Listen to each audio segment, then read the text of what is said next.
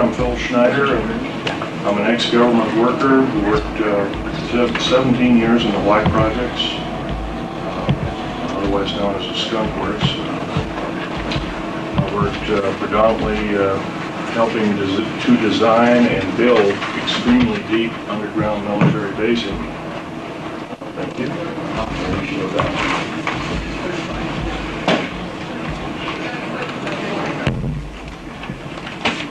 Um, Give you a short overview of my background. I'm a structural engineer, uh, both aerospace as well as uh, military applications.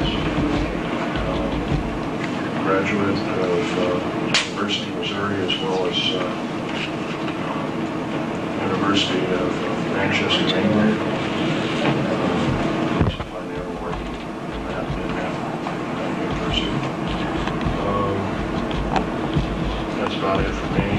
I worked in Vietnam, got torn to pieces, shot, whatever. Took five years to recuperate, came back, patched me up, so to speak. Um, Went to work for Morrison Knudsen. And from Morrison Knudsen, I worked uh, also with EG&G, Bechtel, Aerospatiale of France. Um, I also worked with uh, Fiat for a while, cars by Fiat.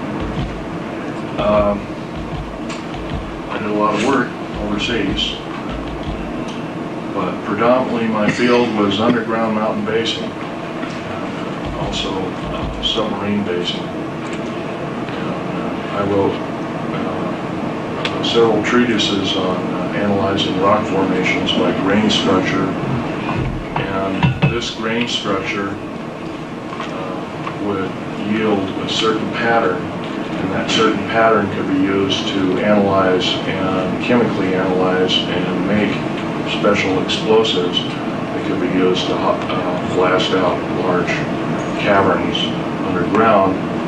Um, And even when there were caverns, you could still use shape charges to blast inert rock, although a lot of it was done by laser tunneling and drilling. Uh, I have a copy of a book here.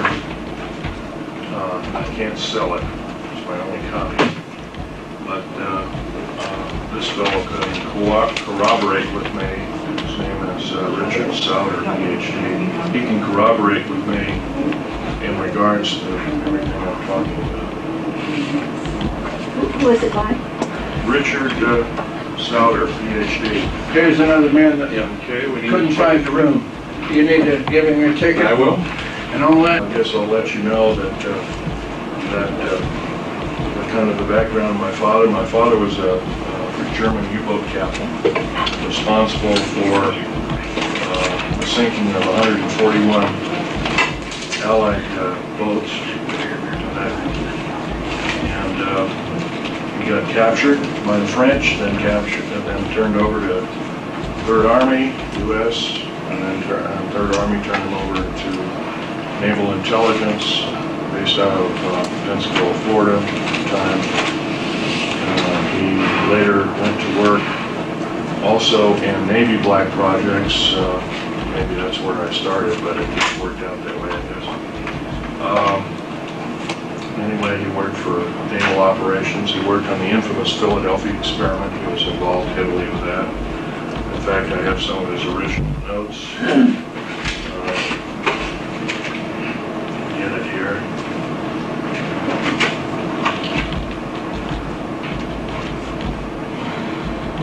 If you don't mind, let's wait a second here. Thought I included them, but I guess I didn't.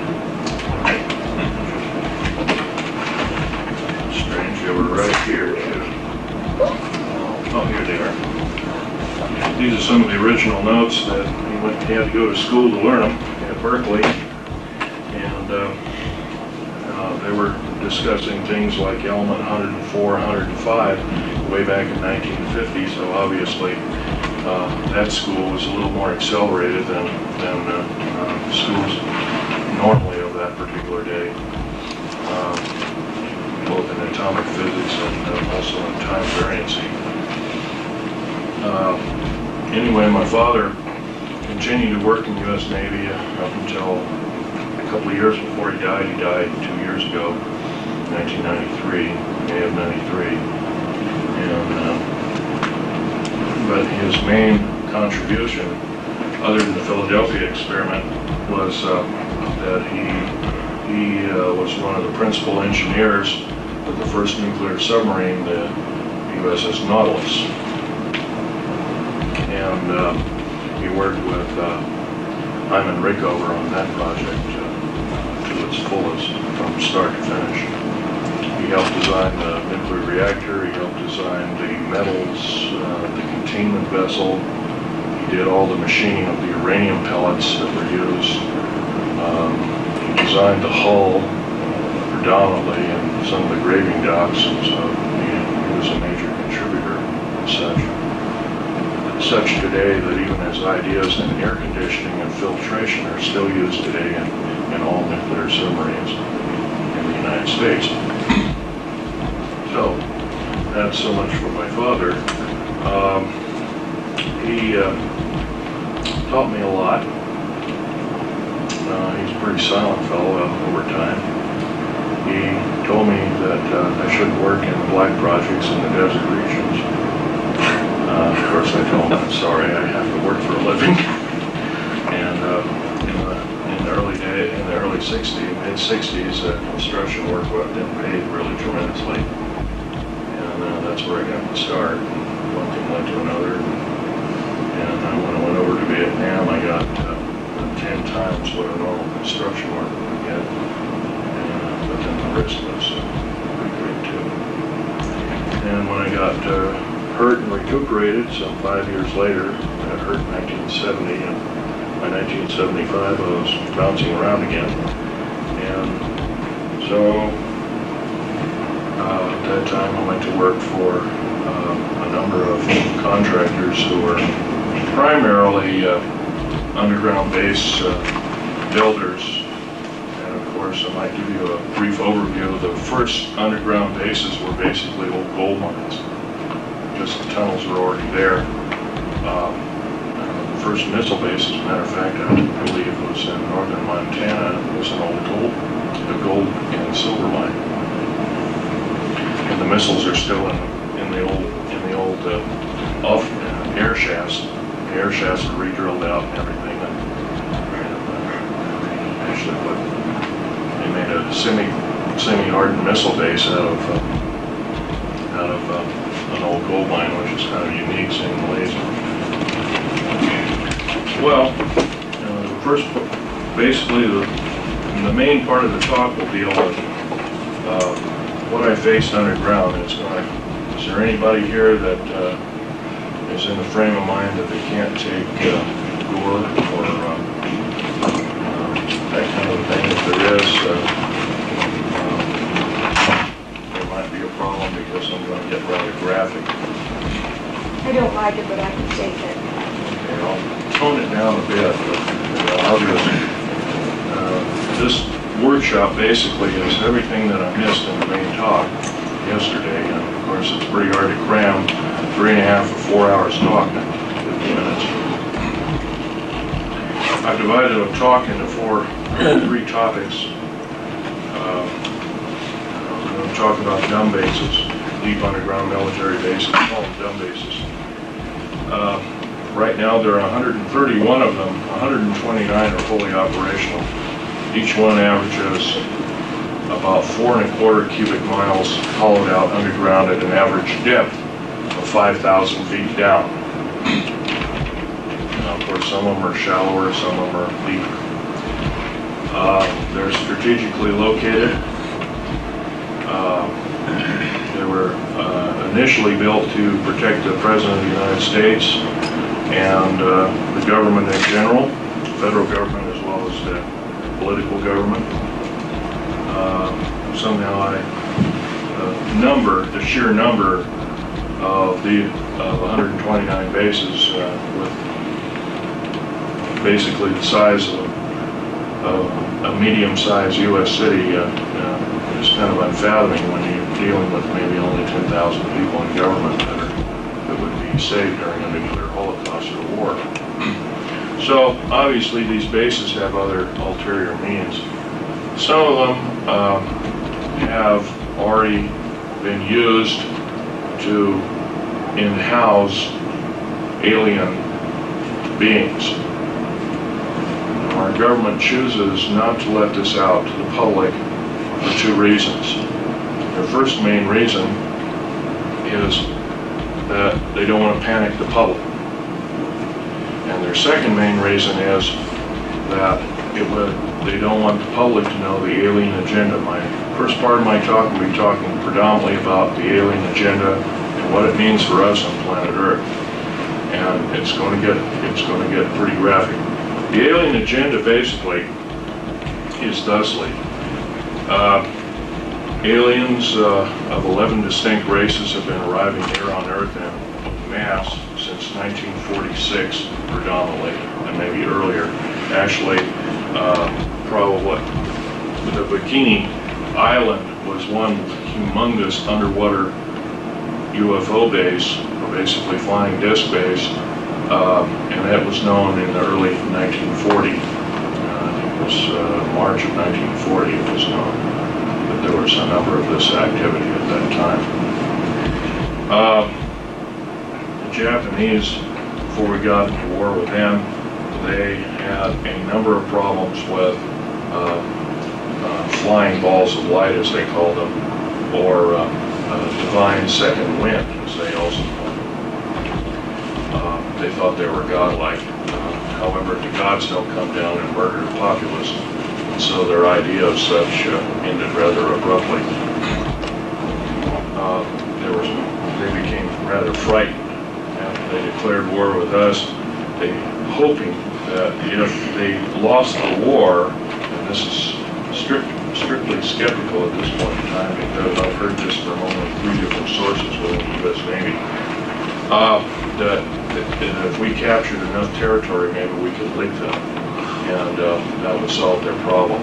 But although that's pretty skeptical, can't prove that one way or not.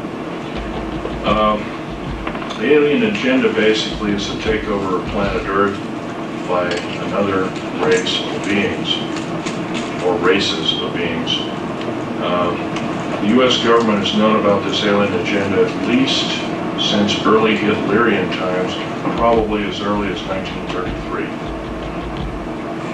Uh, the reason for that is the Third Army, uh, under Patton and others, uh, just afterwards had allured that there was some other agenda other than World War II that, that was an immediate threat to the people of this planet. Uh, in fact, General Douglas MacArthur was one time quoted in saying the very next war, that, and this is toward the close of World War II in 1945, he actually was quoted in saying, the next war we have will be not from people of Earth, but it will be from people, the World War, I'm talking about, or worse, will be from uh, races from the stars. Course, this spawned a lot of speculative uh, science fiction writing and that kind of thing like that. He was always, from then on, he was kind of looked at as a doddering old fool. Um, he was a very visionary man, saying the least. If anything, he knew about the alien agenda in World War I times.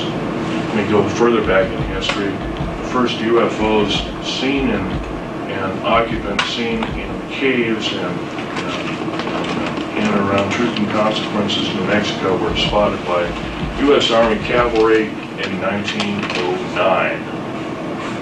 So this is a little earlier than most people had thought. Uh, Supposedly U.S. cavalry had come across some, they were chasing some bandits and uh, we chased them in this area and uh, there was these caves and they were rather highly infested with aliens and what they called a silver wing. They didn't know what, like. All that was around were, were very primitive aircraft and, uh, and of course there was balloons and that was about it. 1909 was pretty far back in time. Anyway, uh, the alien agenda means, as far as anything goes. As far as the government is concerned, it is the worst scenario they could ever face. Because it involves not only having to tell the public major lies and innuendo all the time, but, and keeping the public out of their face. Uh, Slowly it's breaking down, and I'm helping do that because I remember my uh, forefather of this country, uh, George Washington, one time saying, "An uninformed populace is a populace devoted to slavery." And so one must consider that if we become uninformed and we ourselves have to take up battle against this kind of a scourge, if we're uninformed, uh, then we're defeated already. So I'm not here to panic anybody or start a panic, but uh, I feel that by lying to the American public, this is not the, uh, this is not the American way. And we need to do something about that. As a matter of fact, as I'm talking, we need to, we need to also be talking and doing our homework regarding that. And, and there's a lot of people say, well, I don't have the time. You can take 20 minutes a day, can't you? And we can go from there. Be surprised what word of mouth after you found out one little truth, another, another, another, and pretty soon it becomes a snowball. But back to the alien agenda. Uh, throughout the half, almost half of the deep underground military bases in the United States, the 62 of them, of the 131, uh, actually the 129, they're fully operational, the other two are under construction. Uh, uh, 62 of these bases are housing uh, both the tall gray as well as the short gray alien and all their craft and, uh, and of course our government, especially the U.S. Air Force and the U.S. Navy predominantly, uh, are trying to break this, uh, their technology down into usable technology for our own self. Case in point is this particular scenario. The F-117A, the B-2 bomber, maybe the Aurora, although that's not an accurate rendition of what it looks like. Um, they're, the, the airframes are predominantly made of alien metals, metals beyond element 109, uh, and metal composites, some of the skins of which are composed of rubber and carbon fiber. And, uh, and the airframes are composed of, uh, of complex carbon fibers mixed with uh, elements such as mironite, which is element 123, which is extremely stable. Be seen right there.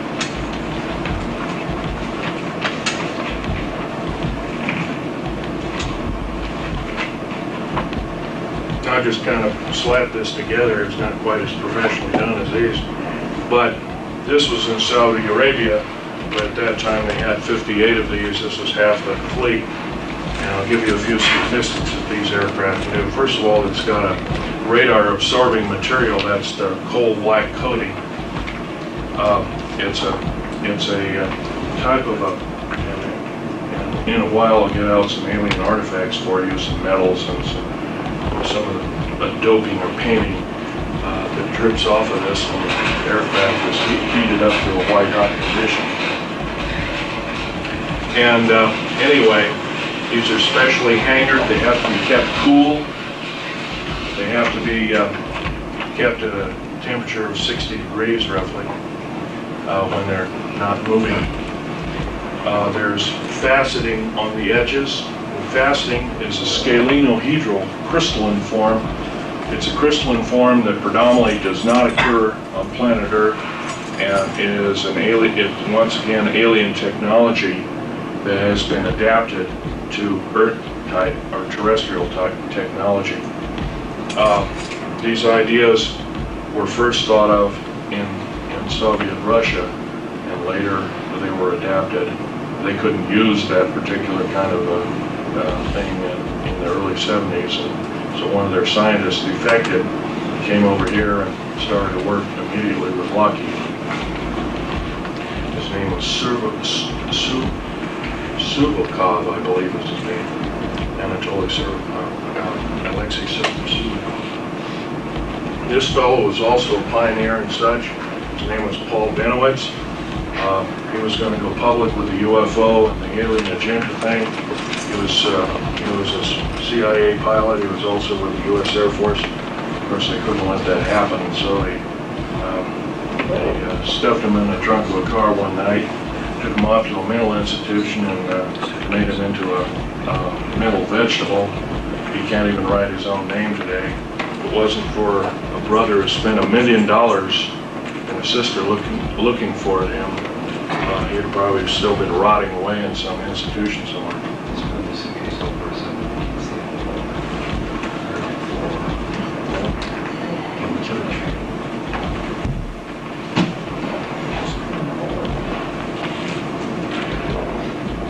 Okay.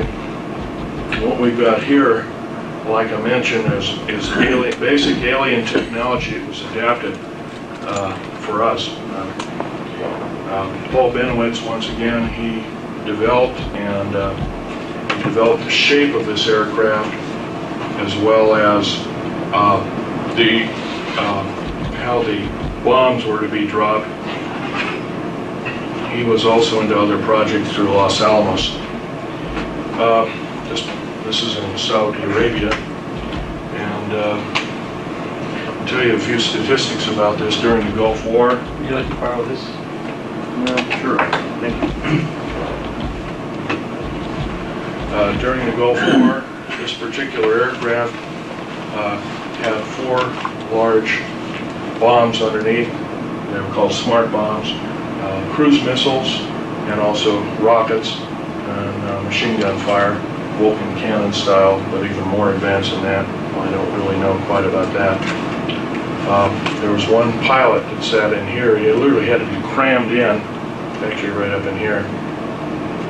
They had to literally wedge him in there and uh, took a certain weight and size of individual in this aircraft.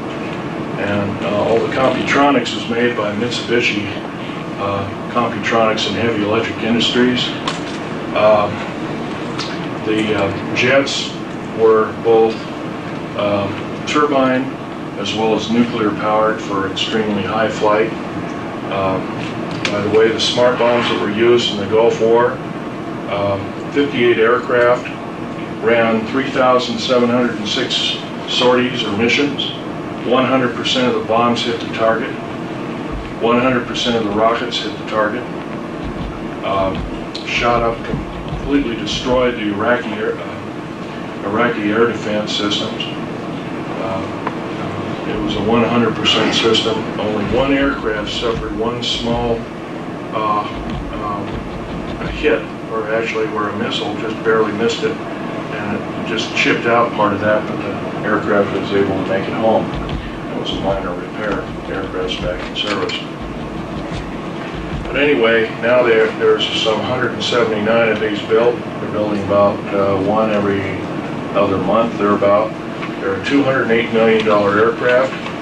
Uh, While this one here is about a $188 million aircraft and it's fraught with problems. Although recently, the F-117A, uh, Black Jet as they're known as, um, originally housed uh, at Nellis Air Force Base, Tonopah Test Range, S4, Groom Lake, you name it. Uh, These aircraft employed a three-dimensional radar. Uh, Everybody else's radar was two-dimensional. Uh, The, uh, the- black jets employed a three-dimensional radar, which was far superior. Uh, And and its Computronics too also had a Cray system to analyze, uh, analyze bombing targets and, and uh, it was also the first aircraft where the pilot wore a helmet. It's called uh, uh, uh, psychoenergetic range finding. It's a copy from the Russian technology, uh, Soviet-Russian technology, where a pilot can think in his own language and arm his weapons and, and pick his target from his computer. It's still employed uh, in a second and third generation. It's extremely accurate. It cannot be faked. In other words, if another pilot uh, decides to uh, commit sabotage and jump in the cockpit, the plane won't pl- plane won't even begin to run, let alone, let alone uh, any of the missiles firing or anything else. So it's kind of a unique system. It's kind of like the signature gun. And of course, we've heard about those in, in different movies and whatnot. Now we have the Aurora, which is a transatmospheric vehicle. And the Aurora, there's four of them currently being tested. I know it's being refuted too by a couple of uh, local gun shows before my lecture. He says, well, you, the Aurora doesn't exist, Phil, you know that. I said, well, really? I says, "Uh, well, I guess you don't think this exists either. And that was a picture, that was this map. He said, no, that doesn't exist either. And I said, really? Hmm, Interesting. I suggest you have a seat and learn something. But they have one surpassing the Aurora now. Yes, there are two other prototypes that are small space shuttles uh, capable of speeds in excess of 40,000 miles an hour. And plus, we also employ 29 prototypes of flying saucer and uh, are successful in piloting those at up to 90,000 miles an hour in the atmosphere without burning up.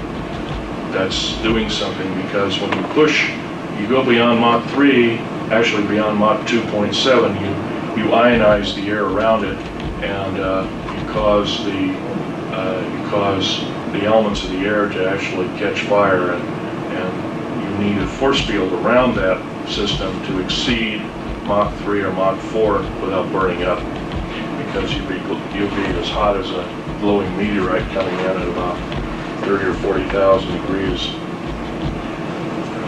Anyway, the Aurora, there's four of them flying, they fly day and night. Uh, they have 12 people as a crew, they can have a skeleton crew of as few as, uh, as few as six. Uh, They can uh, basically leave uh, Tonopah Test Range at 7 o'clock in the morning, do a complete loop around Russia and China, and take all the pictures, they're predominantly a spy plane, they can take pictures, come back for lunch.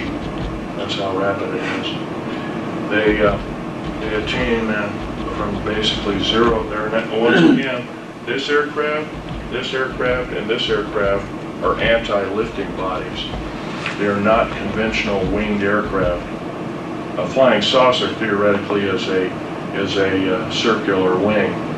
Um, This one, these are not, uh, these are anti-lifting bodies. In other words, it takes an incredible amount of speed before they're able to take off. Um,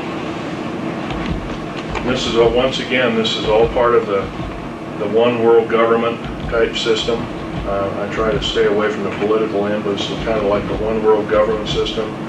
Uh, uh, Take over the planet, and hopefully we don't have to tell the people of the planet what the alien agenda is. The alien agenda is uh, what probably never meant, the aliens never meant that we were going to alter the bargain, but the aliens were the ones back in 1954 who cut a treaty with us saying that, well, we'll give you a list of the people that we uh, implant and, uh, and the cattle we mutilate, uh, and we'll give you a reason why and everything. Of course, that never happened. They kept altering the bargain until finally, uh, uh, in 1979 in Dulce, New Mexico, I was involved in that operation. Uh, we had gone down there to build a, a- an auxiliary base in the southern end of Dulce, New Mexico, already existing base on Archuleta Mesa. And uh, lo and behold, uh, when we drilled down, uh, we found aliens were already in there and had been in there for some time. Um, I can tell you when you're standing, say, as I am here, to where this gentleman is over here, and that's an alien gray who's pretty much seven feet tall, and the meanest looking bastard you ever saw, and uh, uh, not looking like a human being, uh, you kind of get petrified. And as an engineer, of course, I uh, didn't carry a regular, regular big 40, clunky 45 or anything built because it would get in the way. I carried tools and other kinds of things on my belt, and I always carried a small pistol, Walther PPK with a nine-shot clip, 380. And uh, I emptied one clip into two of these uh, alien critters, as they call them. And yes, they are mortal, uh, but I got also, uh, as soon as that happened, as I was reloading, I never got got the clip into the gun, uh, they hit me in the chest with some kind of particle beam weapon that gave me a very high dose of nuclear radiation, similar to cobalt radiation, but not quite, even more nasty. And uh, I was in isolation uh, afterwards for 50 some odd days, 57 days all total. And uh, it took another couple of years to recuperate. And uh, once again, I was in, my, my body was in traumatic situation. But here I am talking, so it looks like uh, here we go again. But uh, I've got the scars to prove it. Uh, I can Right. verify that they are yeah, there. so they're there. It's pretty, it's pretty They gross. Are there. It's pretty gross, and uh, I don't want to, there are ladies, there's a lady, ladies present here, so let's uh, not raise the shirt here, but they're there. And basically, uh, in talking about alien agenda, we have to also be talking about what occurred over here.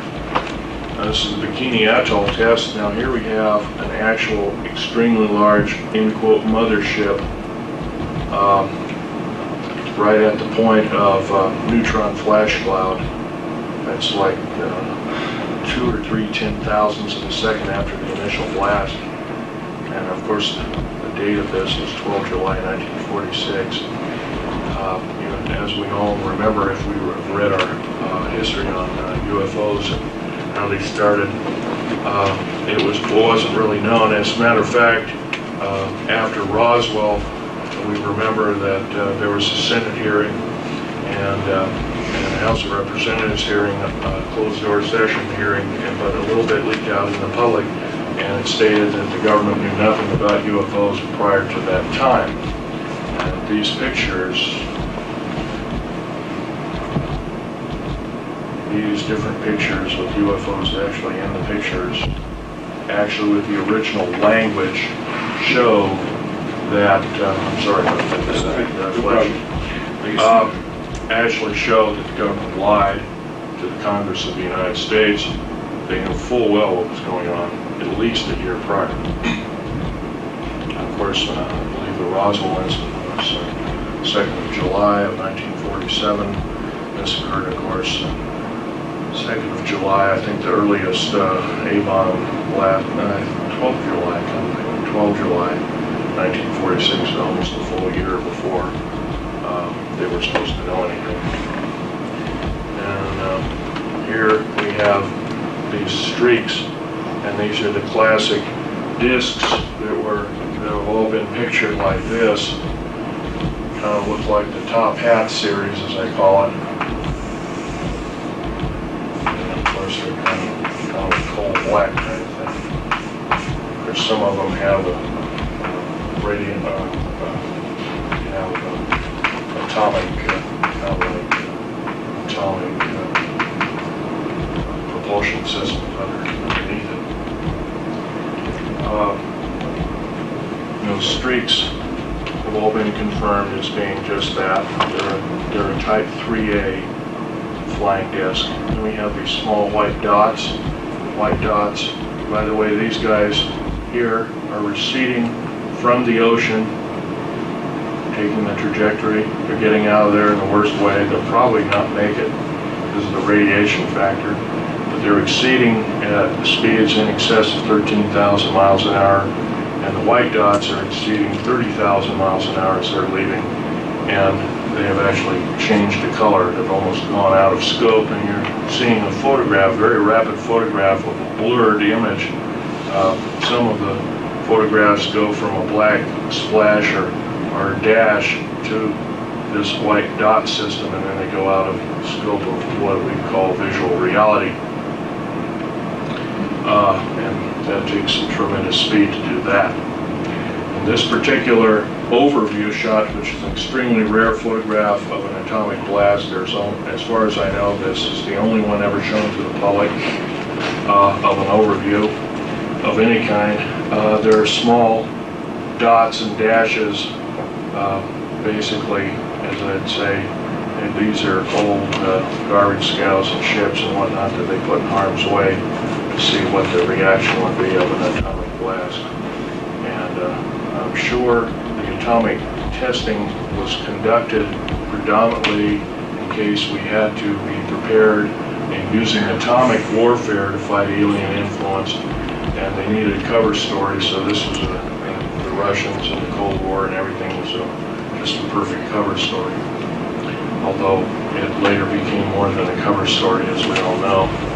Uh, These particular photographs also show small uh, dots and dashes, as I would say, and all of them have been confirmed. Now, this black system here in the atomic cloud uh, is actually time uh, being ripped up, uh, the- of course, the atmosphere and the clouds and everything, and then time being warped by the initial blast itself, and that's by neutrinos going through and ionizing space, uh, ionizing the atmosphere and and uh, whatnot, but exceeding the speed of light, so you produce an antimatter background and you get total blackness. And of course, here we have a- another UFO similar to what it is here.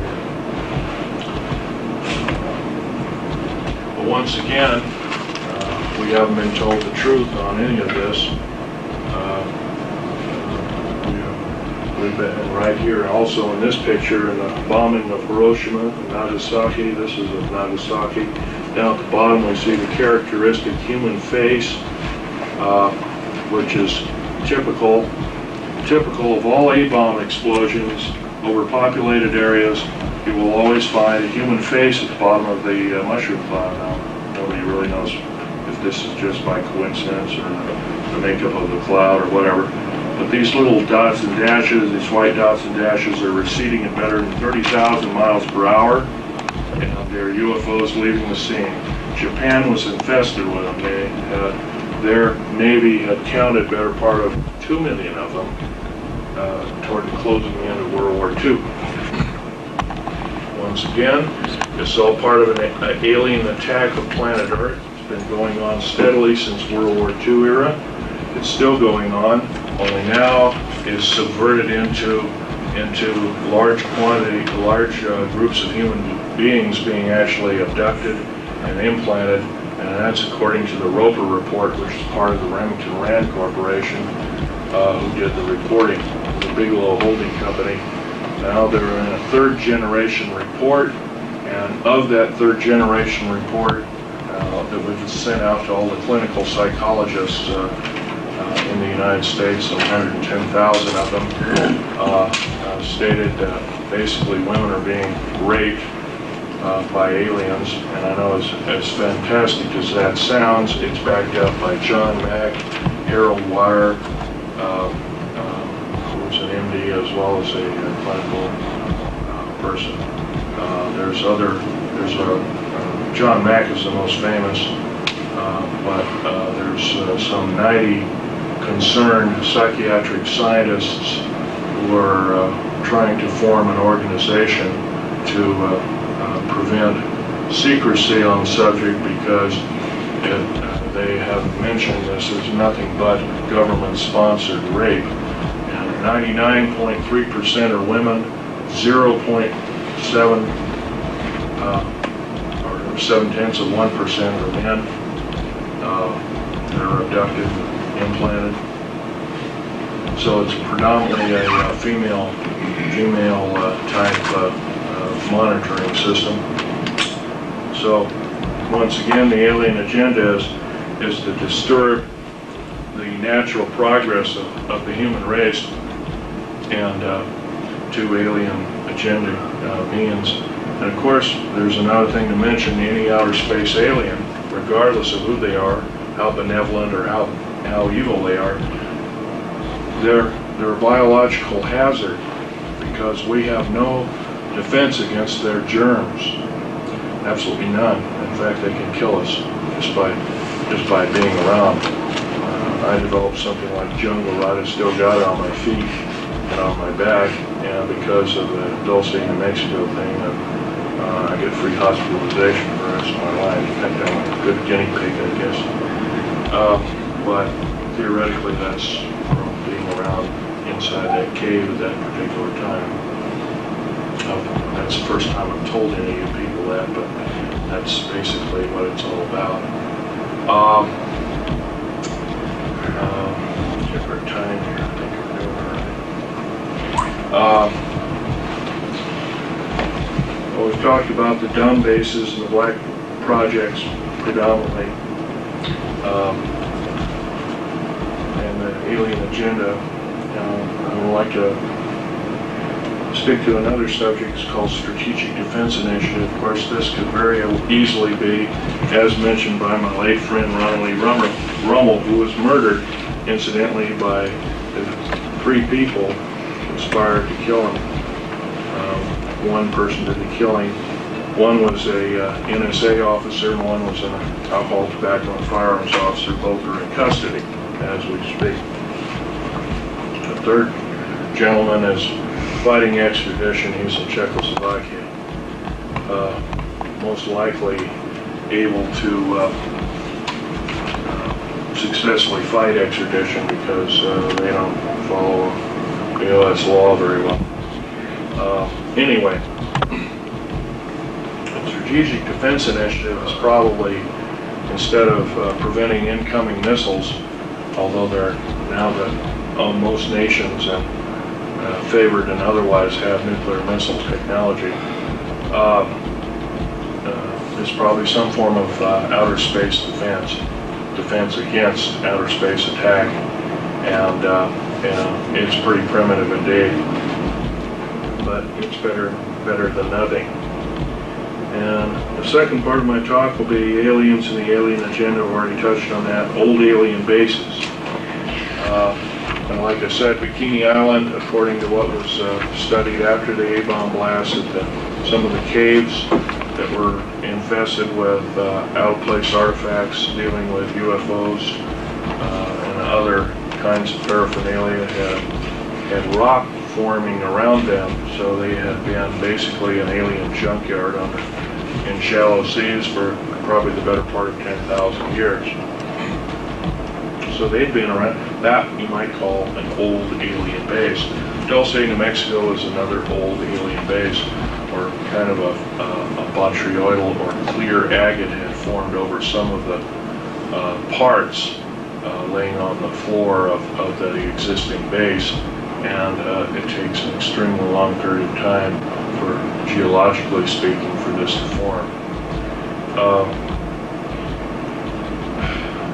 uh, the aliens have probably been here the better part of at least a half a million and maybe as much as several million years, although I have artifacts here which show uh, uh, artifacts that uh, like a small turbine-looking uh, device sitting in 220 million year old fossil coral.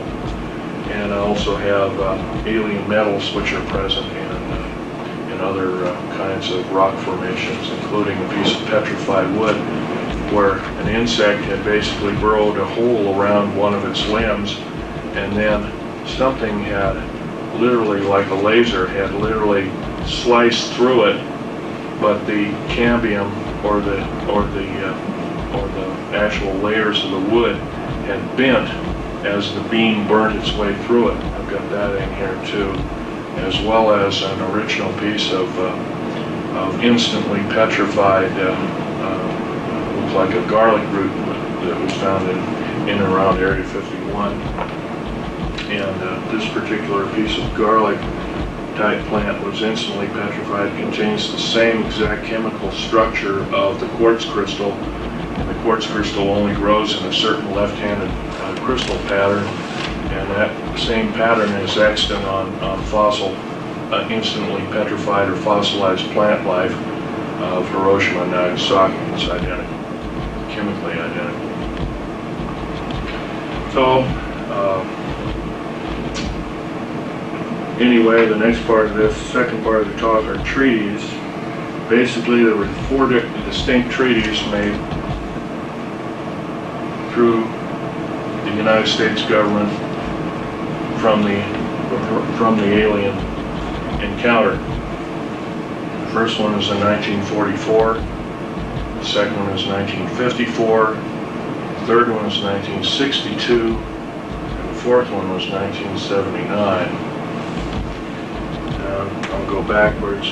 The 1979 treaty uh, was a total violation of, uh, incidentally in Dulce, New Mexico, where I got badly hurt. Uh, 66 Secret Service and Delta, Delta Force people lost their lives, 22 of which were uh, on loan from other countries. Uh, Israel, Germany, uh, Norway, uh, South Africa, if I remember. I was the only geologist, geological engineer down there to analyze the situation. Uh, The government almost basically lied to us. They kind of said that alien presence might be there, but they didn't tell us that they knew that there was an alien base and that they'd already, already attempted to uh, make contact. And of course, this was disturbing indeed. In fact, a couple of the engineers who managed to survive uh, put the project under duress. Another part of the talk are the intelligence community. The Nazi group, the World War II Nazi or Hitlerian group, the Fatherland Intelligence Agency trained our CIA, our OSS, which became our CIA, and other intelligence communities predominantly, and are still being employed today as we, today, as we, in quote, the federal government today uh, trains uh, Bosnian troops on American soil, and from what I understand, that's totally illegal, um, and that's another topic. Now, the third part of the talk is uh, the types of aliens. Um, The large gray that I, two large grays that I shot and killed, uh, can't tell you how ugly they were, and I can never tell you how graphic the stench was. But in the cave, there were large cauldrons or tanks. Uh, They kind of looked like a big uh, oval cattle feeding tank, but they weren't. They were special, looked like a stainless steel or metallic tank. And they were filled with alien uh, and human uh, body parts, and generally glands and what looked like some kind of blood. Now, uh, I've always been taught that blood after a few minutes starts to congeal, but this was, uh, was one of these uh, vessels that in the melee had tipped over and all this bloody liquid had spilled out and was a mess. And it was definitely not coagulated. Uh, How they did this is anybody's guess. If we remember anything about cattle mutilations, we might also think that the, basically the blood in the, these cattle are totally drained out. Uh, There's no blood around, uh, no blood around, in quote, the murder scene of, of the, of the cattle. So, um, so this might be the way they're doing it. Now, whether this is uh, sponsored by our government or other governments is, uh, is a good, is a good guess. If it were up to me, I'd say yes, we're in the thick of it. We made a pact with the aliens and therefore we must know what their agenda is. And, and uh, also, the federal government must also further know that if they keep the big lie going, they must be in the thick of it in the worst way. And if that's the case, they're, they're an enemy of gross concern. Who is we, when you say We, in quotes, the federal government, the Department of State? Department of State, uh, Department of the Air Force, Navy, Army, Marine Corps, basic uh, force services, plus uh, the military policing facilities and the FBI and all the different, they're all hooked into uh, the- the black pro- projects as a whole. In this part of the black projects, uh, there's kind of like an outer sphere of normal black projects like building everything from these kind of aircraft here uh, and doing these kind of experiments here uh, building aircraft like this, um, places like this. And that's kind of on the outside. On the inside, on the inside of this circle, we get a, a tighter group of people who really know what the main agenda is, maybe even the enslavement of the human race as a remnant, uh, as, or, or something in, as a scenario like that. And then finally a third category whereby whereby none of the other two categories would even even hint at the possibility or the horror of what's happening. And it's a very compartmentalized system. I can only begin to guess, even though that I've been in the of things from the outer core to the second core level, but I have no idea what's in the third core level. No way at all. And because it's so complicated, I've heard some of this run by me. It's so fantastic. It makes a Star Wars or a movie or a or a, uh, Star Trek novel, uh, Babylon 5 novel look like a kid's toy. I mean, uh, it's too fantastic for me to believe. So uh, uh, I can I can assume that uh, other it might be a other worldly plan or scenario for taking over the plant, but once again, I can't prove it, so I don't talk about it. Right here, only basically to discuss basically what I know of the alien agenda and through deep underground military basing and the application that I did during, during this kind of activity to the U.S. government. Uh, I'll have question and answer period in a short time. I've already talked about uh, old firefights. Uh, I will tell you right now, I'm breaking major federal law, I'm breaking my entire security oath system.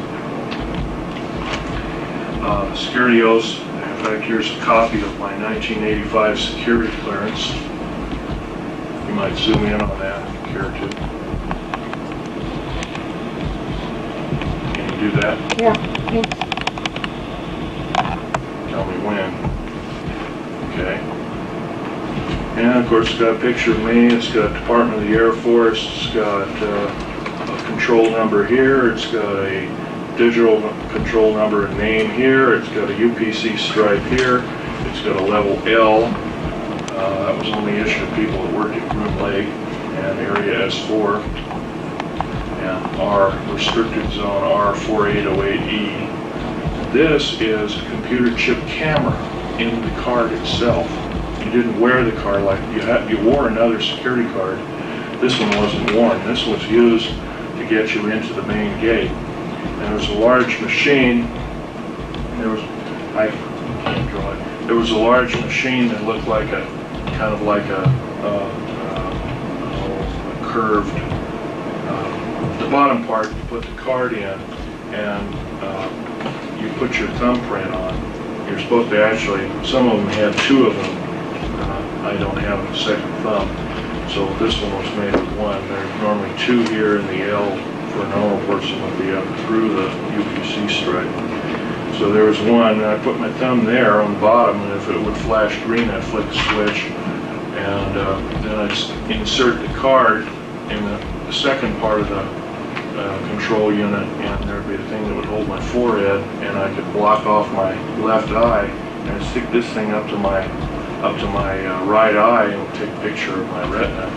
And then if the green light went off, it would I could move my card and I could leave it at the guard shack, and I'd wait for anywhere from 45 minutes to several hours waiting for the next shift to start.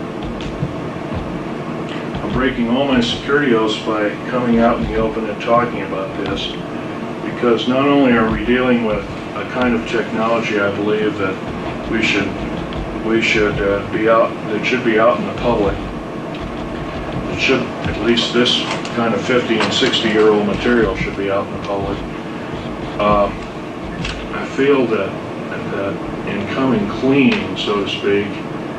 Um, uh, I don't know quite how to explain it other than the fact that when I initially was told these underground bases was were for uh, uh, security uh, in case of nuclear attack in the United States, and uh, it was a total lie. When I found out that aliens were actually entrenched in half of these bases, and uh, these bases, by the way, cost a minimum of $17 billion apiece. The black budget garners $508 billion a year, $1.023 trillion every two years. That's two-year-old information. It's probably more like 1.3 trillion now, which is about one quarter of the gross national product of the United States. It's no wonder why our economy is kind of up and down here and there. Uh, once again, you might ask, well, how in the heck? Uh, We've only been told, uh, we the public have only been told there, there's a total defense budget of $447 billion, so how can there be 500 billion going on behind the scenes? First of all, black budget means hidden budget. Hidden budget is totally hidden from congressional view and oversight, cannot be audited uh, by the U.S. Treasury system at all. It is a separate, independent taxing body entity within the federal government structure, which, by the way, is illegal. Totally illegal. It's primarily financed by drug operations by the CIA and the NSA and the Drug Enforcement Administration, and now the FBI is implicated also. Uh, Recently, there was an FBI man who came out of the cold, so to speak, and told all, only to find himself uh, murdered, and he took a vacation in England, he got himself murdered. That was in the paper about three years ago. Anyway, nine attempts on my life have been taken, all since the 1st of January of this year.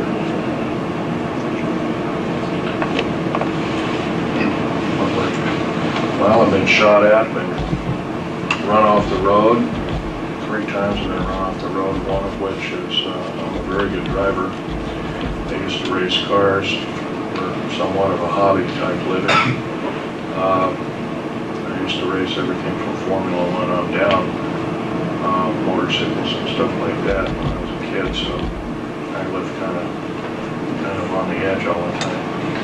Uh, So I became a very good driver, and a very defensive driver, and so if somebody's trying to run me off the road, like before my Vegas talk, I dropped a friend of mine off at 29 Palms area and saw another friend in the, in the uh, Marine Corps Hospital who was dying of cancer. And on the way out of there, you have to go, you have to skirt around a whole mountain range. You just can't take the easiest way in a straight line out.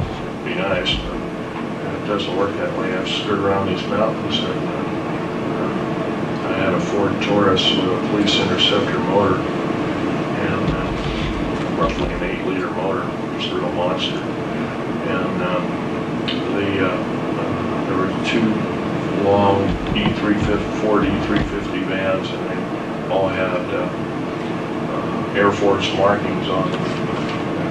They were, uh, they all had guns and they were all shooting and they were missing and and uh, I flew by them and took a picture of their, uh, as a blur, I took a picture of them, got a very good picture of their license plate. And uh, then they, then they sped up and tried to, tried to squeeze me in this way. And then finally I just slid right in the middle of the road and the road was wide enough for basically one-way traffic.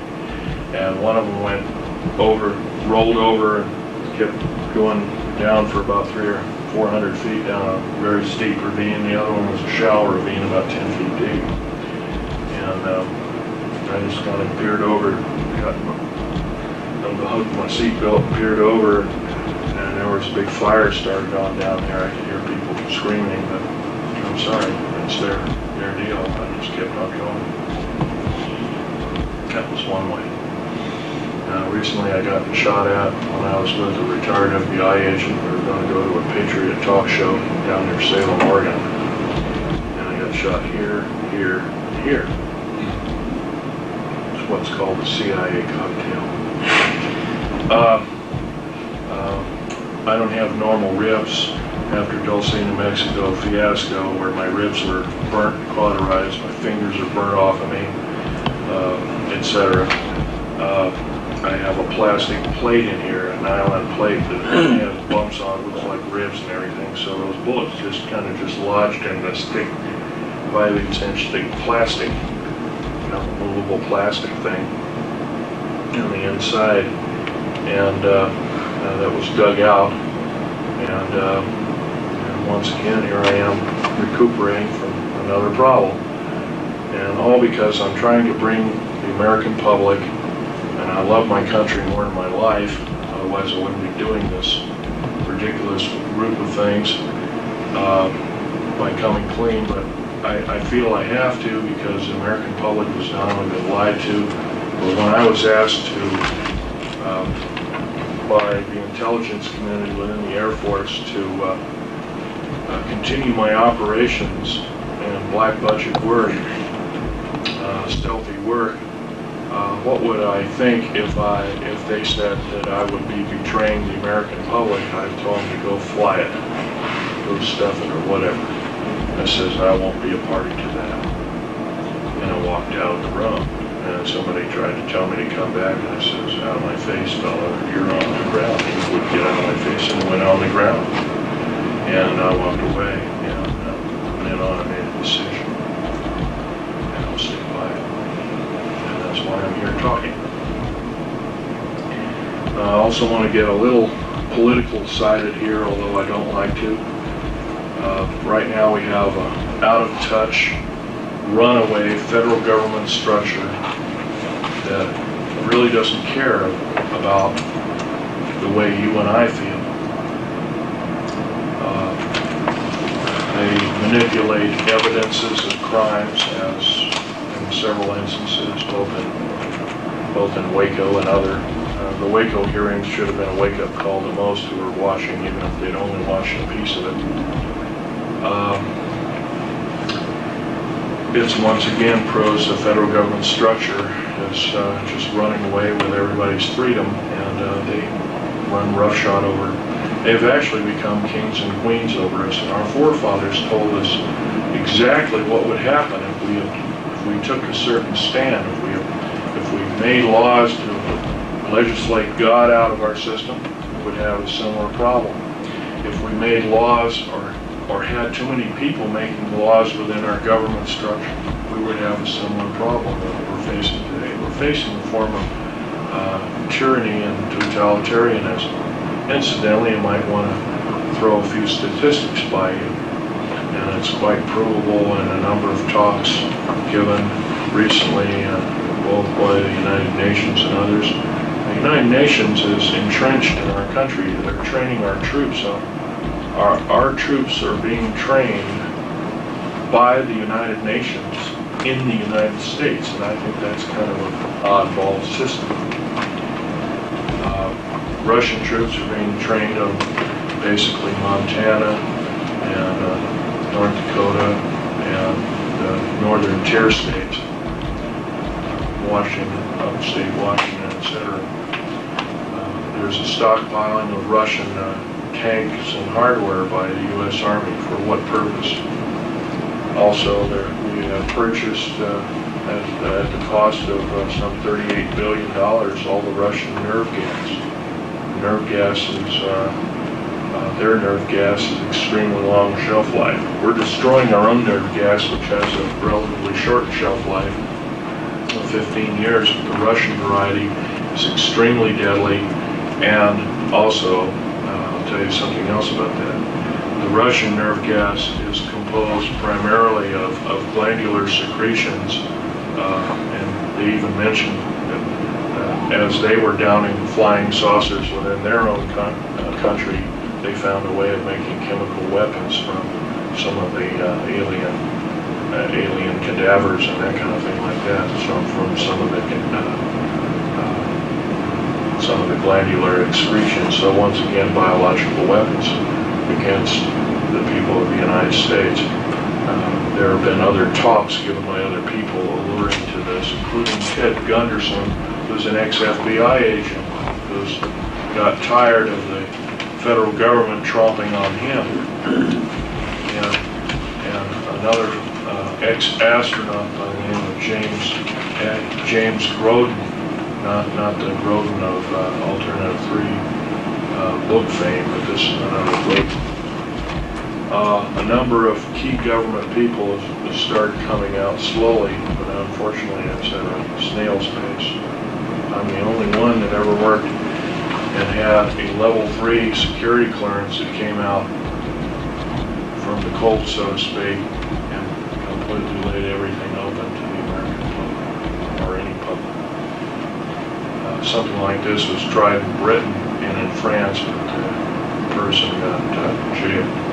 Incidentally, uh, I can't be charged with espionage theoretically because uh, according to our, uh, including one person who said, oh, that, this place doesn't exist. Well, it's on an aerial map, it's kind of different. Uh, If it doesn't exist, I'm just full of you-know-what, uh, hype and uh, hooey, so to speak, and, uh, and uh, I'm just crazy or something like that, and so be it. And if it doesn't exist, it doesn't exist.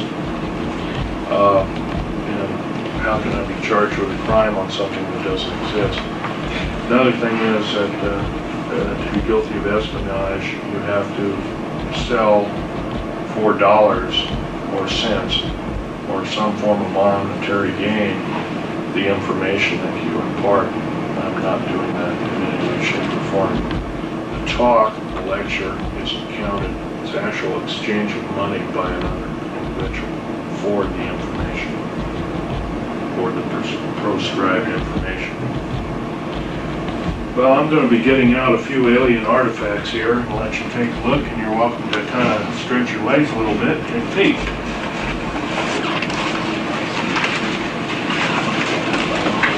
Clear off some these things here so you can see them. About, if you look at very carefully, and I'll leave my hand lens out for you to take a peek.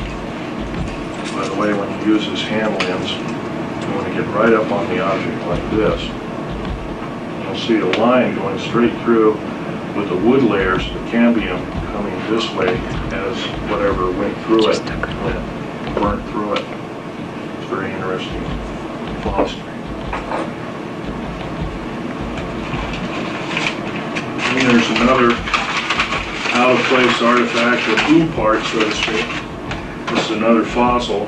This is at one time a cave mushroom, uh, a fossil plant.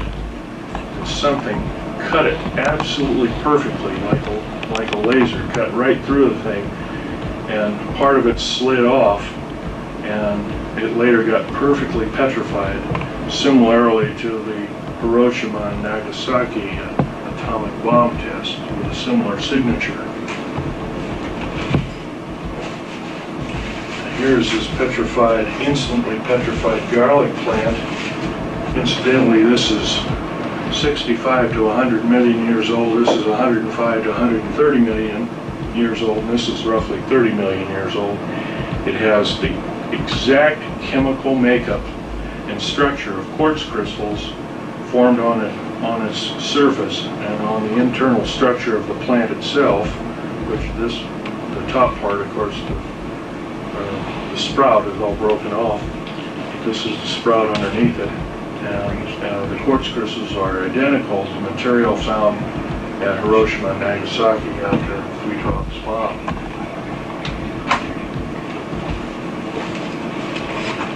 Now, here's a bottle of, uh, of uh, the RAM coating of the black jets. Of course, when they come in after their mission, they're glowing uh, red hot, and they drip this uh, particular material off on this uh, quote tarmac. This isn't tar, it's a special cement, and it just drips. Maybe some of these aircraft, uh, you might see drip spots like here and here and there and different places. This is the material, it's like lava that drops off of it. It also contains certain alien elements, or alien reproduced elements. Here's a piece of fossil coral from Jordan, uh, having a small uh, particular uh, non-fossil, uh, it isn't a crinoid, it might be, some of you might know what a crinoid, fo- crinoid fossil is. It's kind of like an underwater uh, uh, lily or plant, seawater lily, but it- this isn't it. This is actual machined out part similar to a rotor fan, a miniature rotor fan. There's a small engine right there. This is Elman 123, which is uh, also in topoline. topoline and element 123. They're very much heavier than uranium. They're island of stability elements. They're, pre- uh, uh, by the way, these pieces of metal I've purchased with my own money when I worked for the government. As they were test samples, they never bothered to pick them back up, nor did they pay me back for them, so they're my property.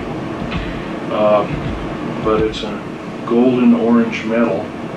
Uh, The pure metal is, is, is pure golden orange and like lead, you can just carve it. It's a very peculiar metal indeed. Totally stable, cannot be, cannot be isotoped. Element 123 with an atomic weight of about 320, and uh, here it is. It's almost twice the weight of uranium. Where did that come from, Phil? Um, That was uh, formed down at Dulce, New Mexico, and also there were scrap heaps and scrap piles of it in and around uh, Tonopah Test Range, which is uh, uh, right here. Tonopah Test Range is actually up above Groom Lake. It's actually, Is that metal from our soil? Is it metal from our soil? no, this is an alien, this is a- two alien elements. And here, if I might show you, uh, Minus the brick lamp, it was about 108. Minus the brick lamps, it was about 108. I thought I had some, um, yeah, here we go. A few years ago. This periodic chart was developed by a number of scientists anonymously, don't want their name revealed. Um, Of course, all we're familiar with is element 103, that's been around for a long time. And a couple of these are made in Russia. These that don't have any name, uh, they, they're very short-lived indeed.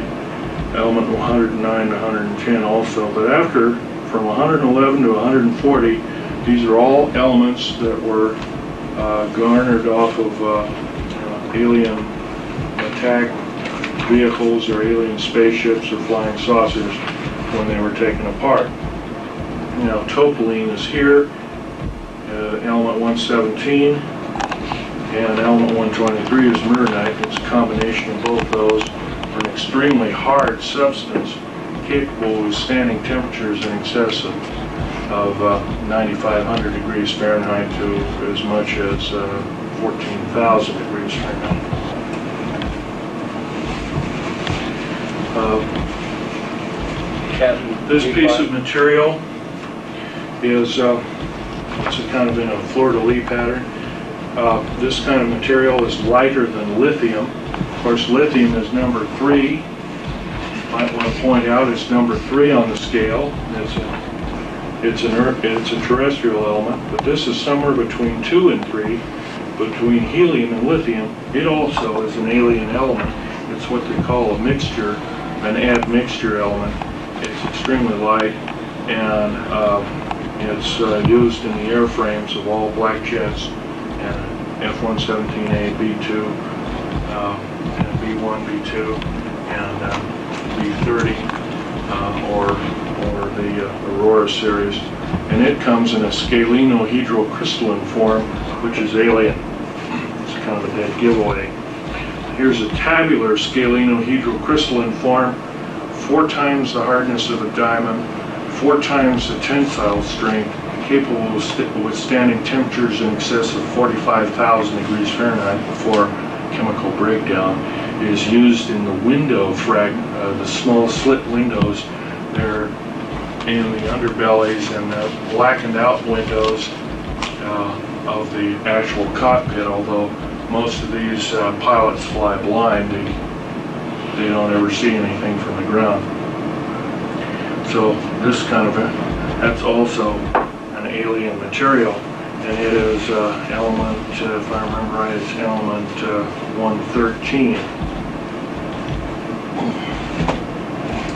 Here's another alien uh, element formed in the confines of Eros, uh, outer space. Uh, You might ask, what are we space shuttling? With all our shuttle missions, of course, we're being lied to every time they talk or open their lips with their mouth. The same crystalline structure is here as well as it is here. This material is the hardness of a diamond. It's also used in the uh, rotor and propeller shafts uh, of propellered aircraft or, or, and/or uh, rotored aircraft. Uh, It's also used in high-speed drills and other kinds of things like that, which are are used to uh, make uh, holes in in metals that cannot be touched with a welding torch. And this, of course, is, is that hunk of metal.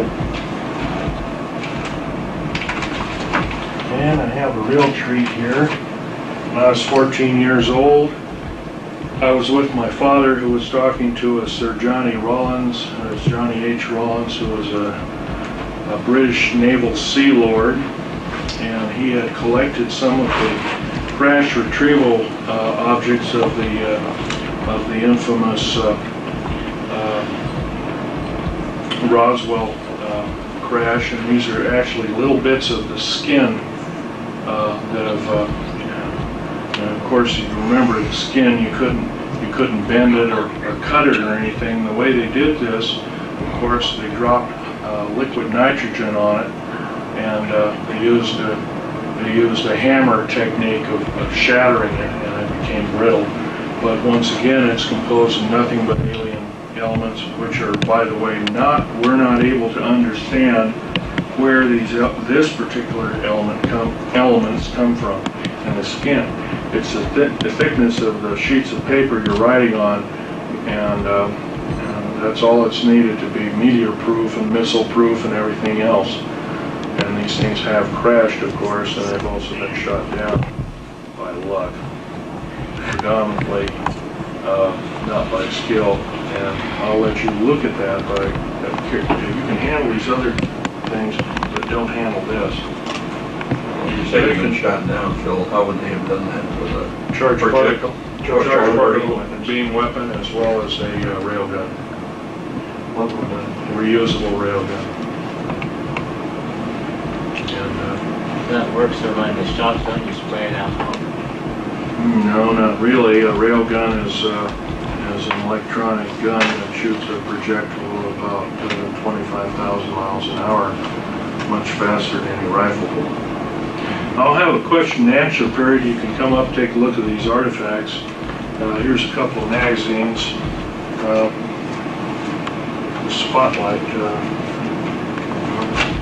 Anyway, uh, Here's the Alien Digest that got my friend killed. Here's some of my father's notes. Those are blanks there, but, uh, um, there's the famous popular science about secret airbase. By the way, if it doesn't exist, huh, how come they printed it? Uh, Here's a Nazi saucer. That was done by Vladimir Terziski, who was a, was a Russian uh, uh, space engineer of some fame. Here's the new periodic chart of the elements. Go ahead and look through it. Incidentally, uh, here is a unique uh, piece of hardware too. It's an ordinary gold watch. Uh, The only thing unique about this particular gold watch is that it's a Waltham, but on the back, on the reverse, uh, it's made in Montauk, New York. It just happened to be used by my dad in the Philadelphia experiment. And it happens to be keeping uh, a rather accurate time. Anyway, I need a seat, and uh, I'll let you look. Can we get one of those uh, periodic tires? Actually, heaviest is the mernite, that kind of This gold, gold-looking material. Be very gentle with these, these aren't normal specimens. And han, and one person handling one piece at a time. Can we get a periodic chart like that, use some of those?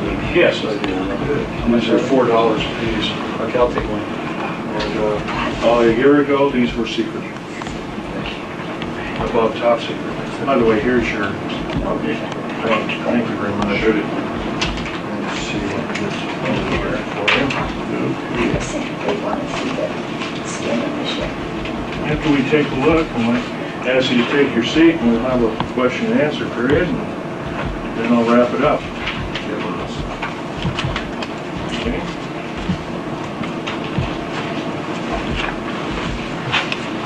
Uh, the aerial maps are two dollars for one one of those. Those are actual aerial maps used at Groom Lake, and those were made in 1966. Also have uh, portfolios of of selected, selected pictures of the atomic bomb blasts uh, at Bikini, as as well as Val Thor. And if there's some of them that need labeling, I'll label them for you after the talk. Do you have one like that? Yes, I do. Matter of fact, I do this I can't sell. Take a look inside of that, inside of that canyon, so to speak. Get an interesting formation. See how the uh, wood fibers have just literally been separated. Yeah, that's right. Of course, you've heard about straws and going through telephone poles uh, after a tornado. Well, um, maybe this was that kind of a thing, although it seems really remote. Are those twenty dollars? Yeah, these are twenty dollars, and they're a select group. Is there a, is this in there too? Well, I'll tell you what, you, you, I'll just throw this in, how about that? What's inside these? uh, There's a select group of pictures, uh, like here at, the s- here at the street, uh, saucers leaving ground zero. I have other ones that are marked uh, with uh, USS Eldridge. This is, by the way, is the USS Eldridge uh, ready room. It's a ready room aboard the USS Eldridge, I think Al Bielek will verify that. And um, that's one of their, I think, how many, how many ready rooms? Is Al here? How many ready rooms were aboard the USS Eldridge? Theoretically, two. Two. I only knew of one because that's the only one I ever went in. Okay. The lecturing varied between various lectures. it lists the people, there's different people, not all the people, although you can do your homework and probably find that out. These are going, after this talk, the- these placards are going to be duplicated on special paper sent to the United States Senate, and of which these pictures will not only be totally declassified, but will be out in public domain. Could you take a picture of this? Have you taken a picture of all of them? And if uh, anything's not marked, if I haven't marked, I'll try and uh, identify them for you. That's up to the, Christine, did you? I could give you a map of Groom Lake also. Did you, uh, Sure. I'll be- uh,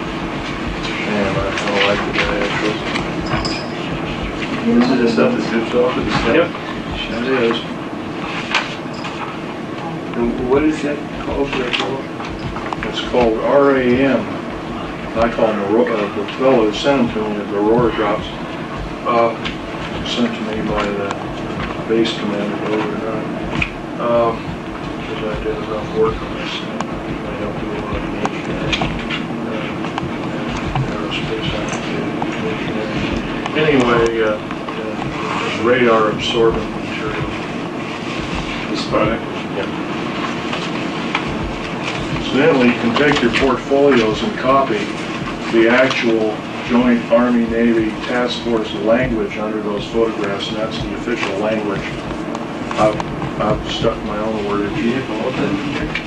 Hmm? You don't have all that in. Yes, well, I don't have all of them, but there's a select group. Um, uh, We can look through it and see the different ones that are selected.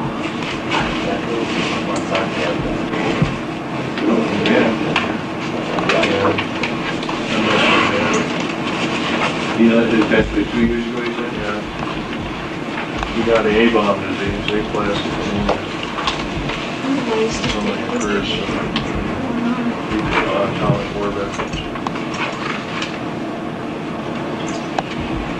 era veterans.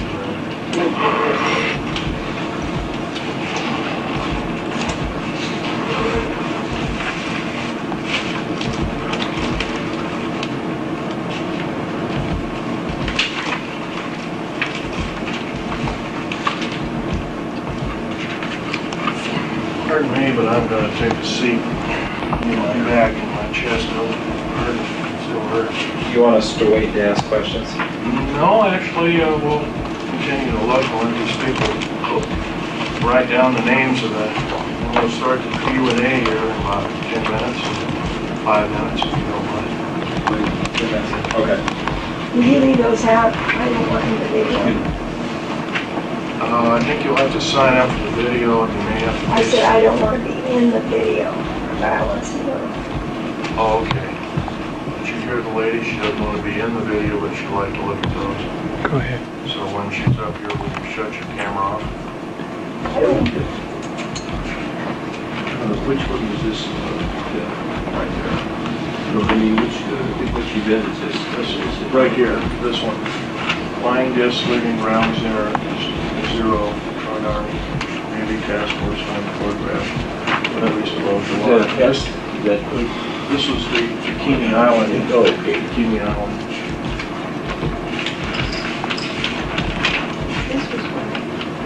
uh, uh, Boston.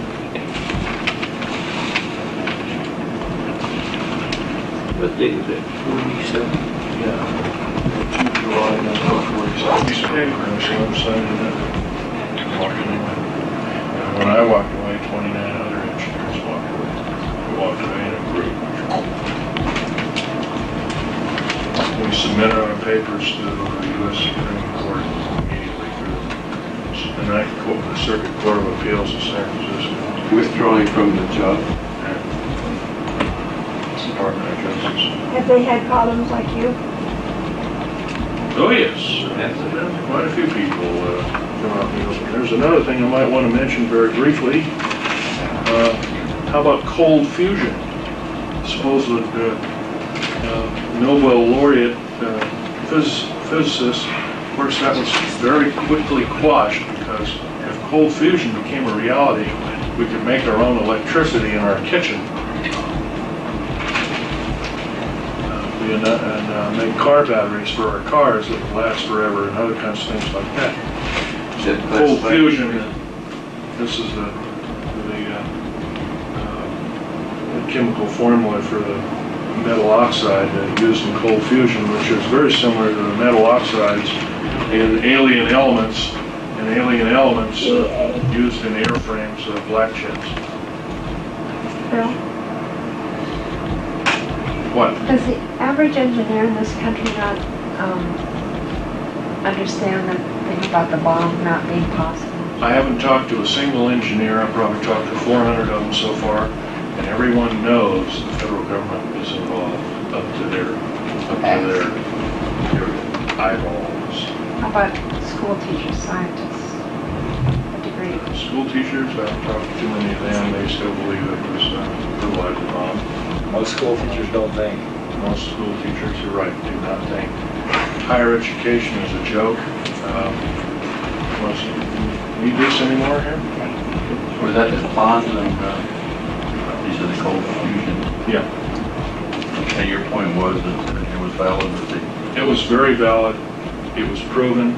Uh, uh, People uh, he donated the award to Greenpeace at the end of it all. Uh, I'm not a proponent of them, and I guess they do pretty, uh, pretty good work. Uh, anyway, uh, uh, the award was hundred and forty thousand dollars, and, uh, for their discovery, and the US military said, no, you can't, can't do this. Now they're working with Cold Fusion of Japan, the information is forbidden to be told the public of the United States. Once again, we're treated as babies and children by our federal government structure and told that, and lied to and saying that this is a bunch of hyperbole.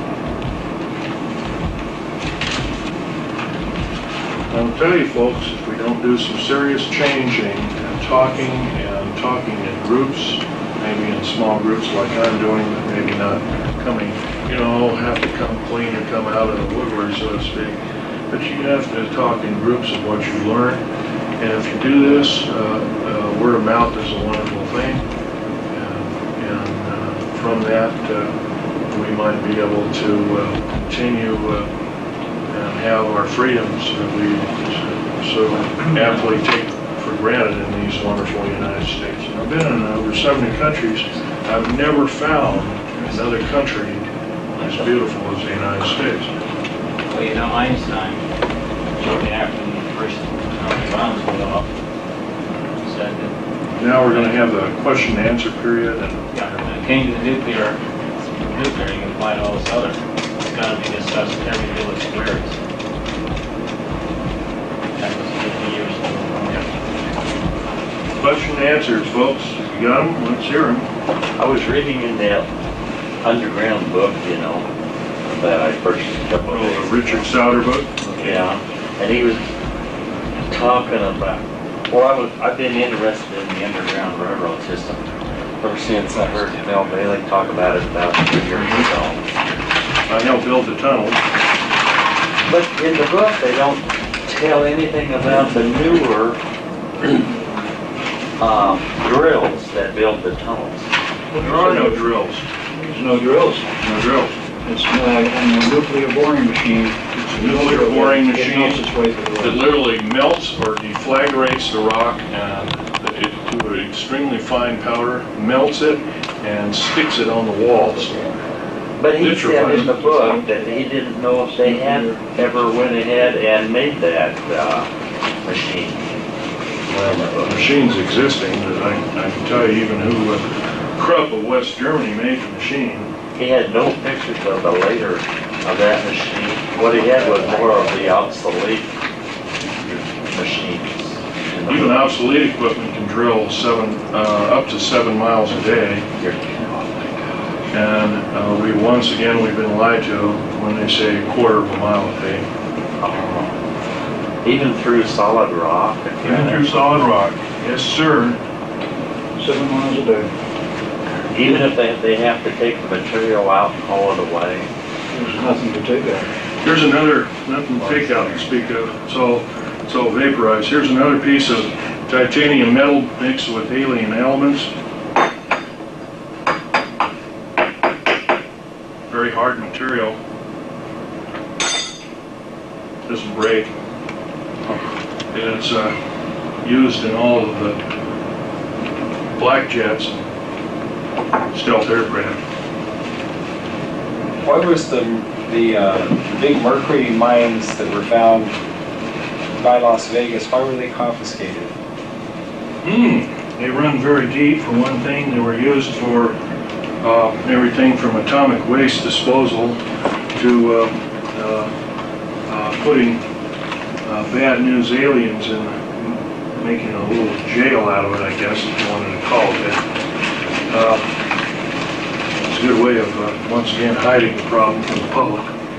So it's tied into the underground system where the mines were? Absolutely. Or they were just, where were they by? They were out, outside of uh, Las Vegas, I've heard, but Uh, They're over near Mercury, Nevada. You were talking about 129 of the underground bases and about half of them being used to house the aliens. What are the other half used for? The other half are used strategically uh, uh, by different military organizations, mostly uh, Army and Air Force and uh, Navy um, for uh, research and development laboratories predominantly, and also uh, medical research and development laboratories and chemical weapon laboratories. Once again, these bases have been built unceasingly day and night since 1940. And if you add up all the bases, all the cost of all the bases, it's uh, pretty close to a quadrillion dollars. How can they keep this so, keep the public so uninformed, Well, it's pretty especially easy. the the people that live around the areas? It's pretty easy to keep it away from the public. Uh, They've done a real good job of it, uh, with the exception of people like myself that come out of the woodwork.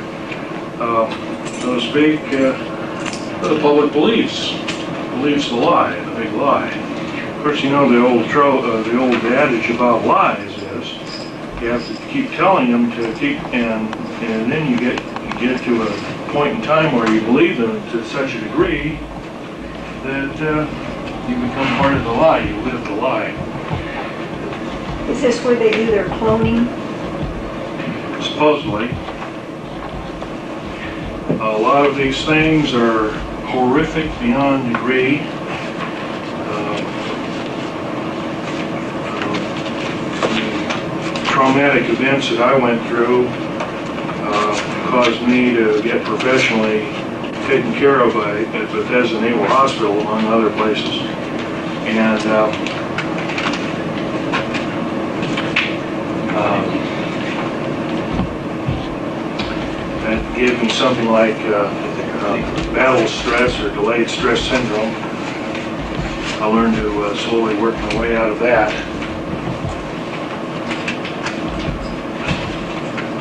It was not easy.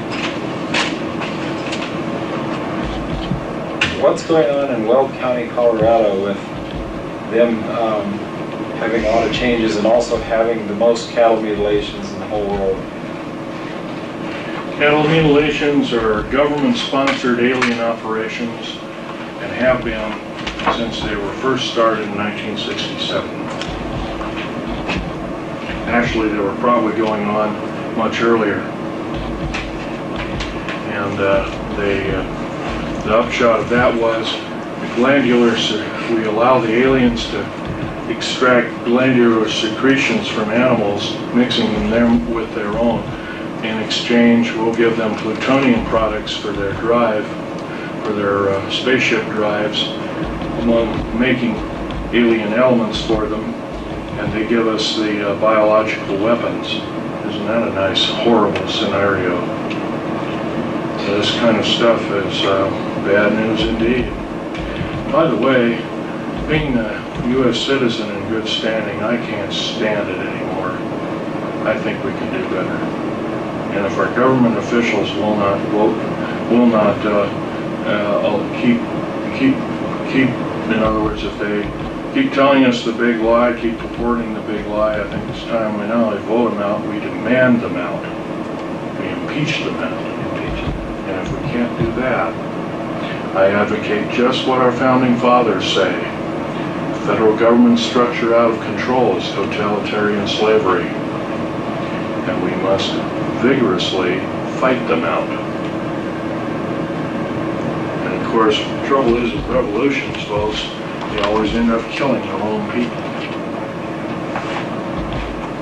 And I don't advocate the overthrow of my government. But right now, my government is not in touch with me, you, or anybody else. And, uh, it's kind of mood after that. What again was the number of, of estimated alien downed craft? pretty close to 800,000 all total. As we speak, the Russians are shooting down two a day per province within mother- motherland Russia. The Southern Hemisphere, six per day. United States, one per day. And uh, Europe, one per day. It's a full-scale invasion.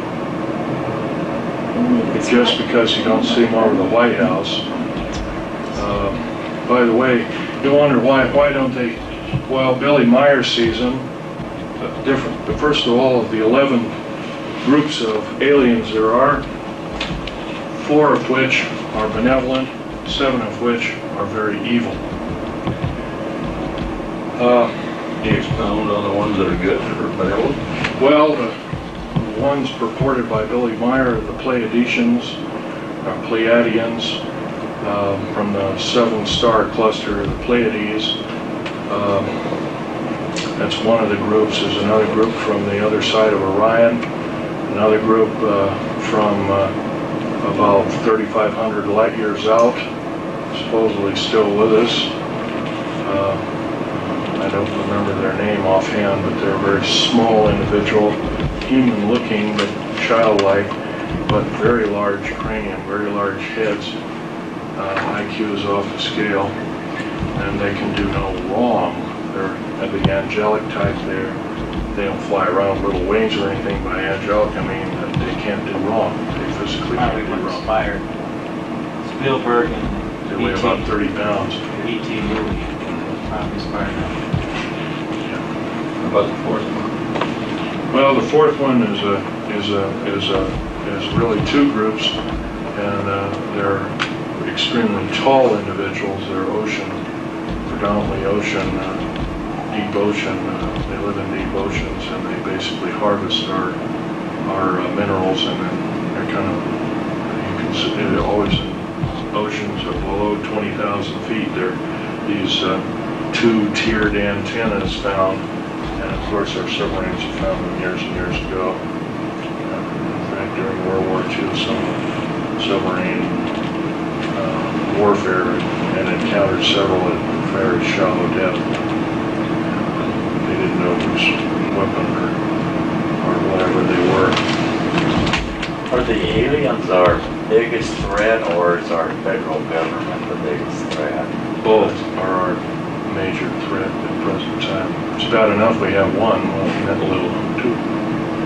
Does, does Will County, Colorado have an underground base in that area? Colorado has three underground bases, uh, one at DIA. Uh, I believe what you mentioned, what, what was it, Weld? Weld County is the biggest, one of the biggest counties in the United States. I believe it's in the northeastern section of that county, if I remember right. I'd have to look at a map. I can identify every, every, every base on a map. I have, I have the latitudes and longitudes of such bases. And By the way, if I mention that, that does entail espionage, if I mention all of them, and I cannot do that to the crowd. And I want to keep on talking as much as I can, so I'm that's one thing I promised to do, but I have to break my promise, and I'll tell you that uh, I was wrong in that. I, I I encountered something when I was back east, I was with friends up there. You'll have to speak, I, I, otherwise. I, I visited Minnesota, I was coming back and I decided to take a different route to get off of the interstates and take US Highway thirty-six across northern Kansas. And about twenty miles from the Colorado border, there was suddenly construction, construction. Thirty-six was completely cut off. And the detours went way around, and I didn't do that, I just went down and found I seventy. Over that area, about I guess 15 minutes later, I saw strange formation clouds in perfect chrysalis.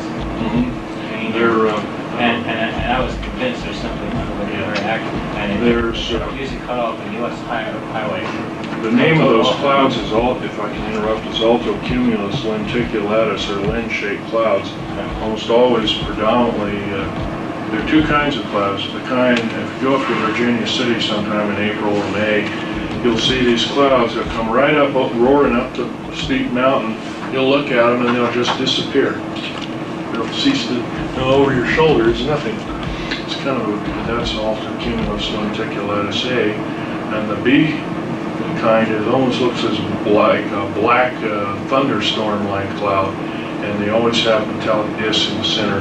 And if you uh, take a, uh, your camera, your eye won't probably see them, the camera will pick up uh, metallic uh, dots within that cloud structure, and those dots can be professionally analyzed, and you'll come up with the, you'll come up with the, uh, we'll come up with the conclusion that they are flying discs.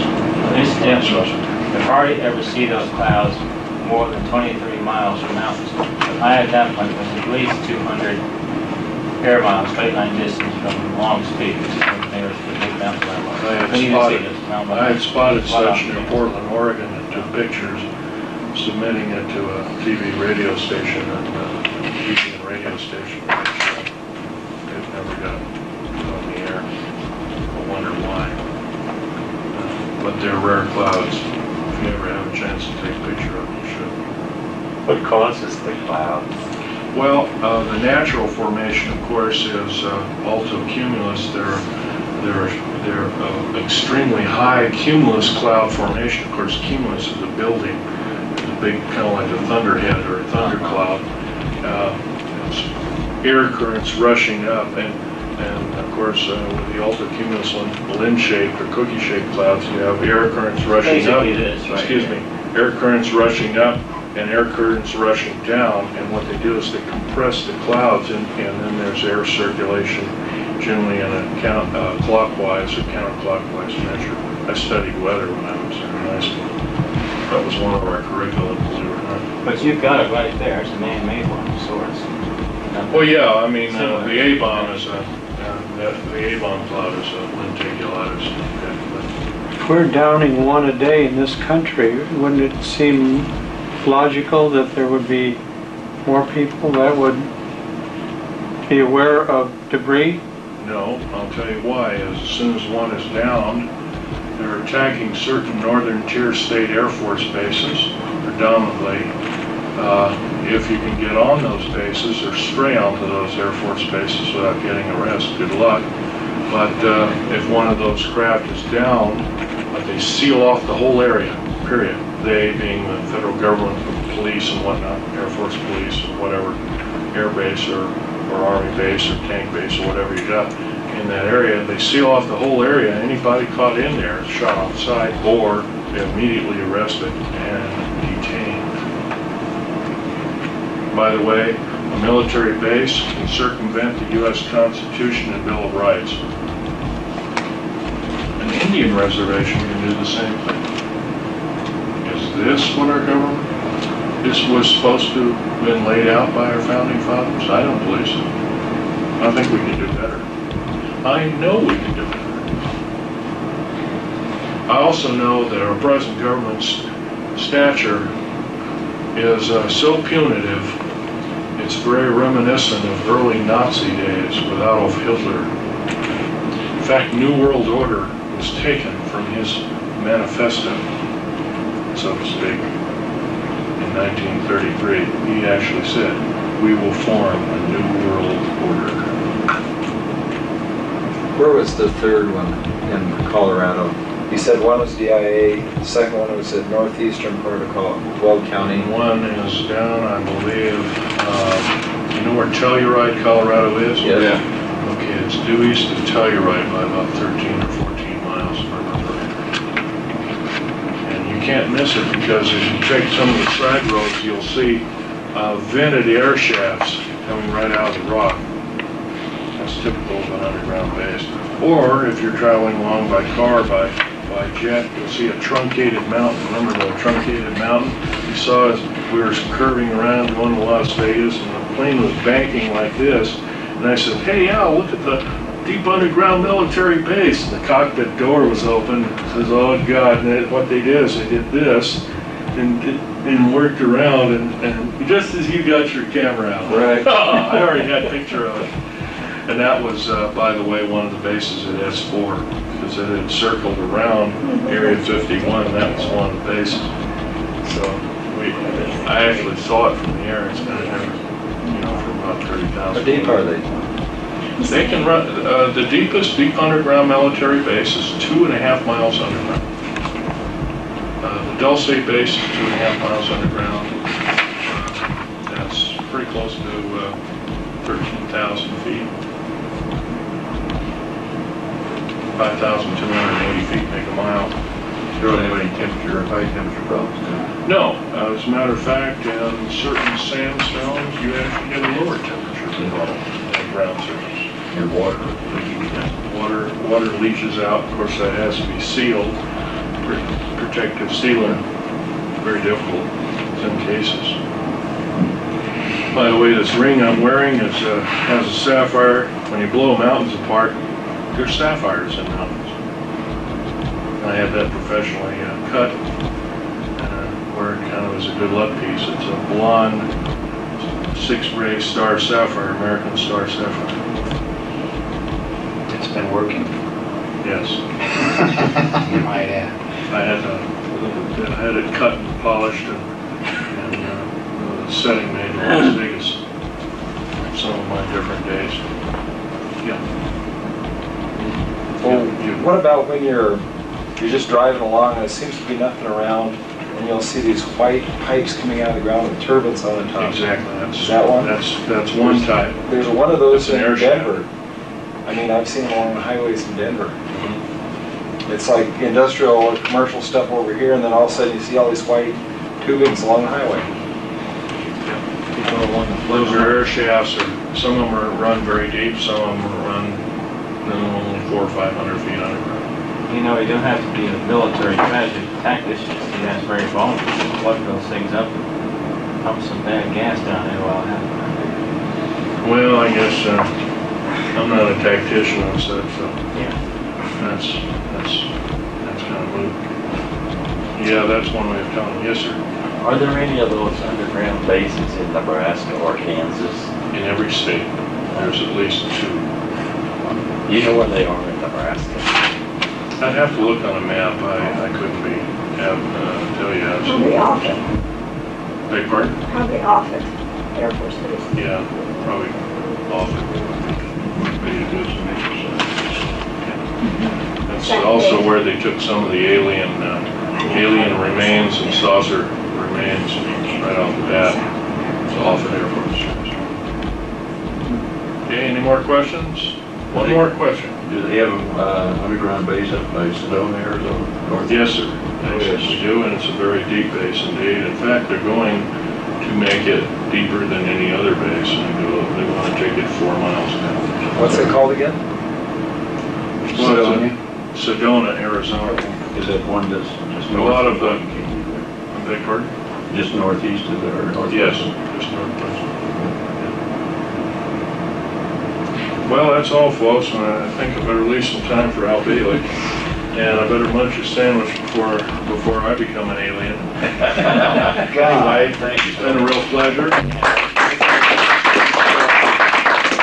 And I hope I've had a, uh, you've had some hand-on experience. By the way, there's some little metallic fragments you might be able to pick up. I don't know, they might be alien. Thanks. Thank you.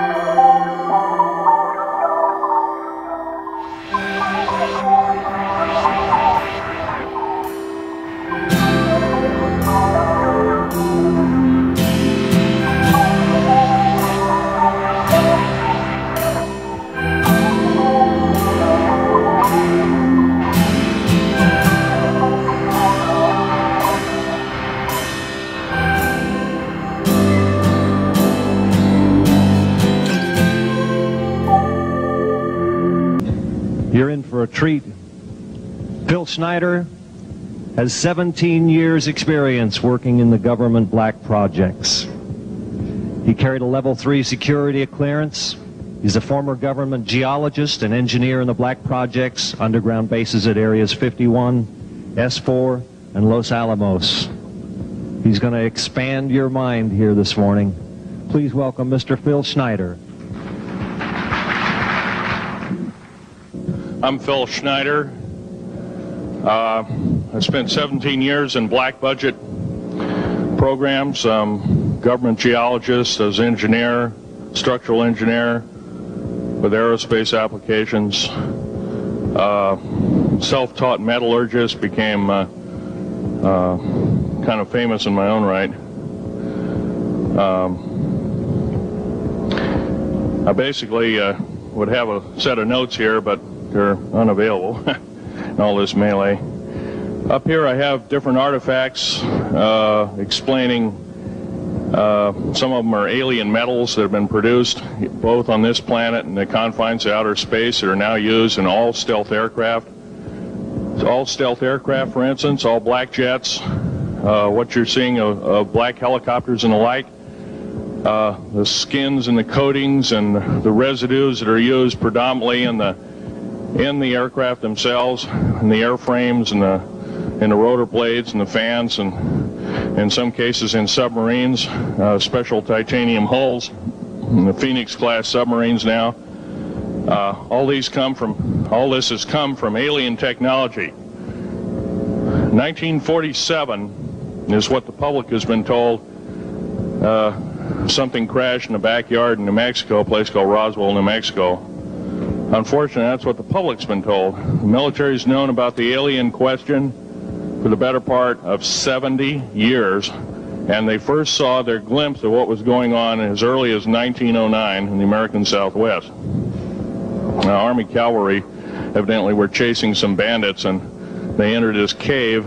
They were holed up in a cave, and what they found in there was flying discs and and little gray guys and all kinds of weird things, and they didn't know how to explain that, and they wrote them down as best they could, and it's been in secret archives ever since. And That's up in the, that's in the, down by the Truth or Consequences uh, area of New Mexico. Well, the alien thing is more than just a what I'd call a non-visible threat. We on the surface, first of all, all information dealing with alien or alien reproduced technology or alien reproduced vehicles or any other kinds of things well hidden from the American public. Our black budget, for instance, garners 1.023 trillion dollars every two years. It's over 500 billion dollars a year. Right now, there are 131 active deep underground military bases in the United States. There's 1,477 of them worldwide. Each one has an average cost of 17 to 19 billion dollars. Each one is uh, built in the site. Uh, oh, it used to be it'd take a year to two years to build each one, and now they're capable of building a couple of them a year uh, with sophisticated methods. Uh, my colleague uh, Al Bielek has actually been on some of the high-speed railways, uh, the magneto-leviton trains that connect all the deep underground military bases within the United States. He's been on a Mach 2 train and floats off of floats off of a single rail at a, three quarters of an inch off the rail and is uh, what you'd call high tech. We have nothing like this on the surface. Uh, the public basically has been totally lied to. We're considered stupid or even moronic in some cases. Uh, it's got to stop. If, if we're going to gain our country back, we must, and I repeat, must regain, we must instill in our public officials, anybody that goes and does public service, they must tell us the truth. If they cannot do this, then, then they must be impeached or they must, must be removed from office. If this cannot occur, if, if the truth cannot totally come out, the, the, I, there are reasons for secrecy, for instance, but if the truth cannot totally come out, uh, what's the use in us having anything called freedom? Okay, now I have pictures here that I'm going to show you during the break in artifacts, and I ask you to kind of look at them but not handle them. I have actual crashed retriever metal from Roswell, New Mexico. It's given to me when I was 14 years old. For instance, I've got other things. I've got pieces pieces of titan this piece of titanium, a special titanium alloy made for everything from the original SR-71 Blackbird, that's old hat now, uh, F-117A is their old hat now. Uh, they're making a whole new class of hypersonic above Mach 5 aircraft that employ they employ extremely modern charged particle beam weapons. They don't even use lasers anymore. Uh, computer enhanced imaging radar, although it's used in helicopters for public surveillance, computer enhanced imaging radar, and in satellite technology.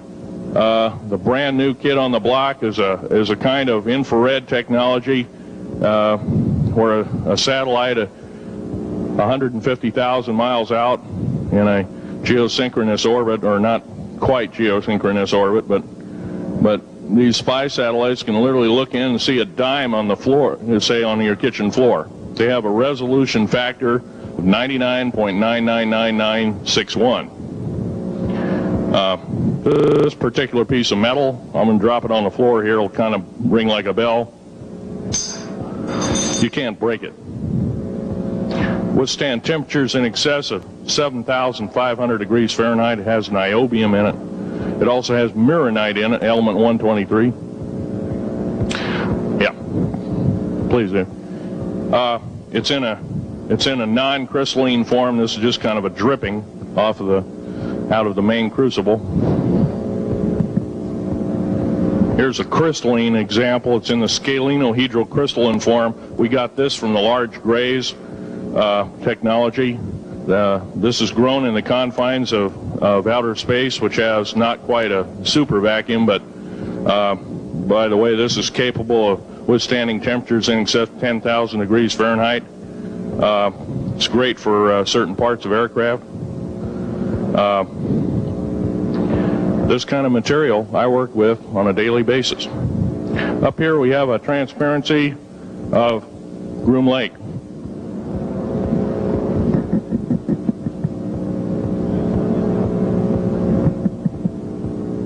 Groom Is where the infamous Area 51, S4, S2, a CIA base, uh, uh, it was originally a bombing range, a nuclear test site. Uh, it was later become the most secret base in the United States.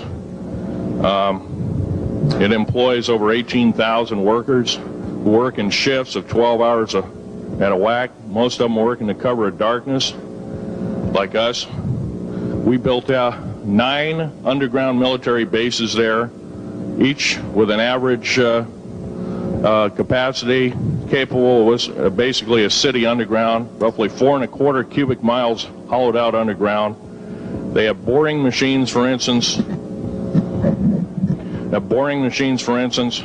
They don't bore, they literally vitrify and melt the rock, deflagrate the rock. It's a very sophisticated laser uh, uh, melting and deflagrating system. It reduces the rock to a powder and then melts the the remaining rock as a coating on the inside of the base, so you don't have to use gunite cements and other kinds of things like that. That's old, uh, all old hat now. Uh, technology is just basically the new technology we get is the old hat of the military. I'm going to be real brief about it. I carried a level one security clearance, the Rhyolite 38 factor. There are very few of us. There's nobody except myself, to my knowledge, talking like this. nobody. I'm breaking the law I'm breaking world as well as federal law, coming out and even talking about this to a group of people. I love my country more than I love my life. Two weeks ago, I was shot in the shoulder.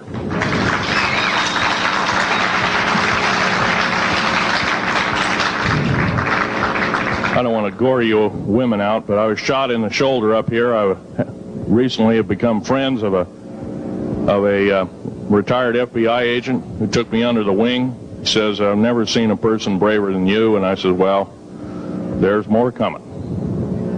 Our patriot movement in these United States is going to pick up the ball, and we are going to kick the parasites out.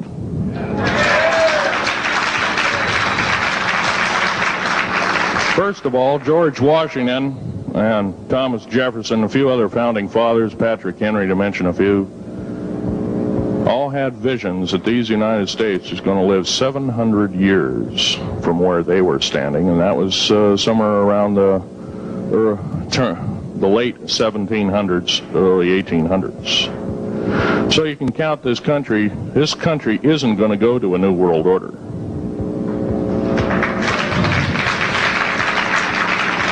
Believe firmly in constitutional law. I'm not very well skilled in it, and that's my embarrassment. But I'm going to be real blunt about it. The government that is now instilled in ruling over us are ruling as we're serfs and they're the kings and queens. Now, that's a feudal system. That isn't even a democracy. We are now being ruled by an autocracy and a technocracy. In other words, technical knowledge is rules as king with a feudal type system. Feudal systems haven't been used in the last 350 years, and they're coming back like gangbusters. If we are complacent, if we do not speak out in droves, and I'm not just talking about me, I'm talking about a bunch of us getting together and getting on the stump and loving our country more than we love our lives, getting on, some of us are going to get killed. I almost got killed a couple of weeks ago. Hadn't been for a uh, hadn't been for an FBI, a retired FBI man who risked his life, his career, everything, put it all on the line, and he didn't know me from Adam. A week prior to that, uh, he he re- he listened to one of my tapes I gave up in Post Falls, Idaho, and I'm gonna be very blunt about. He mentioned, he said that we need a lot more of you, but unfortunately, we're not getting anybody. Well, I'm trying to, I'm not the best speaker in the world, but I'm trying to relay to you that we need to get out and seriously get the message out. These shows are great. This, this hall should be absolutely packed, standing room only, and we should be getting the message out to as many people as we can with as many shows as there are, is it possibly to reach. The many is the public. We ought to get on talk shows. We've got to get on. We've got to get on news shows and TV shows, and we have to really get the message out. And I think we're doing it, but it's it's a little bit slow in the in the first part. That's that's just that part of the what I want to say. In working with the black projects, I was very loyal. I was picked because I was very strong mentally. There's a bunch of us that were picked because we don't crack under pressure. We don't freak under pressure, so to speak. Everyday events don't bother us. Now, I was involved in something very controversial, almost totally unbelievable to most of you. Some of you are religious people. I think all religions, all religions have a time and a place, and they definitely have a place in America. Now, another thing I want to reach to you is that during the unbelievable part, I was involved in building another base onto in inside of Dulce, New Mexico, which is Los Alamos Laboratory. It's a biological laboratory. On the southwest part of the Archuleta Mesa, uh, we built an underground facility, a better part of three cubic miles hollowed out underground. Then to the southwest of that, we built, we were, we were in the process of the early stages of building. We drilled four large uh, tunnel-like holes. Some of them ran two and a half miles under the surface. Uh, number the early, at that time, number of the original uh, uh, wells or dr- uh, drilling uh, machines that were used were were um, at the rate of up two miles a day. It was fairly rapid. The equipment kept coming up broken, so we wanted to go down. We wanted to send somebody down there, a human observer, or human observers in this case, to find out what was going on. Well, to our total surprise, first of all, the government knew all about it. They didn't tell anybody. Uh, when I saw Green Beret and Black Beret people encamped inside of our geologist camp, I knew something was up. The gig was up. First of all, I knew all about the alien agenda. I'll explain that in a few minutes. The large alien grays had been encamped there for as best as believed possible about four or five hundred years. Had been one of their internal bases. And we we drilled holes right on top of it. All the stinking air, all the black sooty air came right out as soon as one the first hole was sunk and all this soot came up and well that's when it all all the hell broke loose really all started anyway after we drilled all four holes it took about a, two days to drill all four of them and when you build a underground base you drill four basic holes and then you build you, called stopes or cross member holes across and you bla- use blasting equipment you know, special blasting equipment by the analyzation of the rock formation.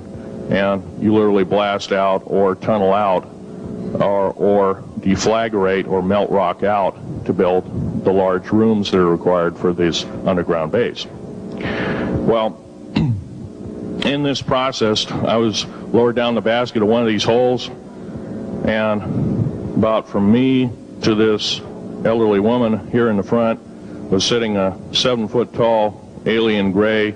The stench was worse than the worst garbage can you can imagine. Uh, the person was at, or the entity was absolutely horrible. I didn't waste any time. I reached for my pistol. At that time, as an engineer, I didn't have time to carry all the folderol of one of these big submachine guns that all the sea spray and the yellow fruit and the, all the uh, outer perimeter and inner perimeter security people carried. I carried little Walther PPK pistol with a nine-shot clip. this is in late August of 1979. Now, you got a regular suit of clothes, you got a regular clothes on, plus you're in a almost like a spacesuit environment, and you're reaching for a gun. It's it's not the easiest thing to do, and then to pop a clip in it and start shooting. And I killed two of them. Yes, they're mortal, and they do die. However, in the process, uh, one of them did this. I all I remember is that he just kind of waved his hand in front of his chest, and the next thing I know, this blue beam hit me and just literally opened me up like a fish, and every, uh, burnt burnt my fingers right off of me, and it was some form of electrical force because the kind of like hit being hit by a lightning bolt burned all my toenails off of me, uh, completely crispy crittered my left foot, burnt the shoe right off of me. Um, all I remember was the smoking remains, and I'm laying almost, I'm still conscious, but in and out of, I didn't remember much. And there was a, a Green Beret that was right behind me that risked his life. In fact, he died.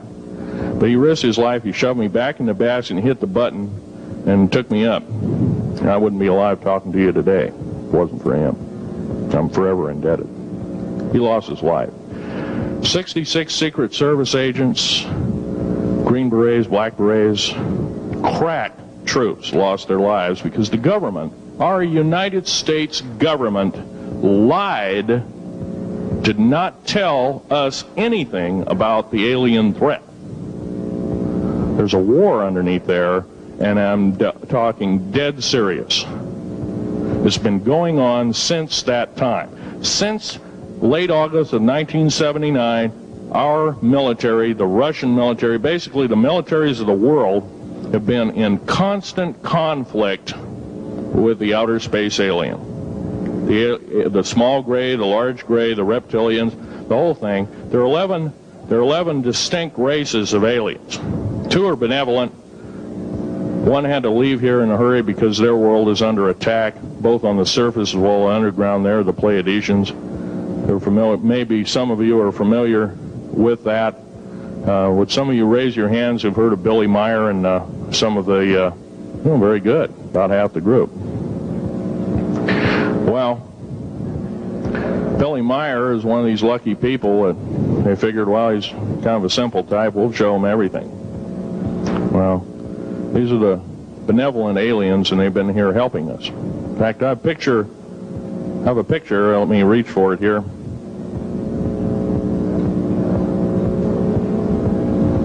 Have a picture of one of the aliens been working for the United States Pentagon for the last 58 years. His name is Val Val Valiant Thor. He's right here. There's my father in the background. This old place, the ready room of the USS Eldridge, Al Bielek uh, has probably explained, or maybe even shown you this picture. There's a list of the some of the notable people in it. They're all the atomic bomb scientists of the day, all the uh, time variant uh, experimentalists of the day, all the top physicists of, of that particular day. This was in this was in August of 1943. Now this guy has not changed one iota in 58 years. Started work, he came here, crashed here or whatever. Whether he's under duress or not, he started work for our U.S. Navy and military operations in 1937, uh, either 37 or 38 is what I've been told. So it's for 58 years, this man's been employed, probably under duress. If you don't do as we say, we're just going to use you for alien bait or something. I don't know. But anyway, he basically hasn't changed. He lives for 490 years, is what he says his lifespan is. Now, he was supposedly a semi-benevolent, he's a human-looking type person. He has six fingers and six toes, and he's got one oversized heart, one lung, giant lung. Uh, his blood vessels are bigger. He's got copper oxide for blood, similar to an octopus. Uh, his brain capacity 300 centimeters greater than ours. He has a thinking capacity, uh, IQ. If if you were to measure it, be totally off the scale, be about a 1200 IQ. Um, he speaks 100 languages fluently, alien as well as others. Um, he's a remarkable person. I had a chance to meet him one time. Now, um, by the way, he doesn't shake hands. He was kind of in a spacesuit because all aliens, regardless benevolent or otherwise, they're carrying germs and diseases and bacterium in and on them that are deadly to us. If, if I were making policy, I, I'd quarantine them all because because how do we not know that some of our diseases like AIDS, Ebola, uh, hantavirus, and a few of these other weird designer diseases, as I call them, are not made from the cadavers of some of these aliens as a biological weapon to use against the people of the United States. Well, I'm tired. I'm a tired American speaking out.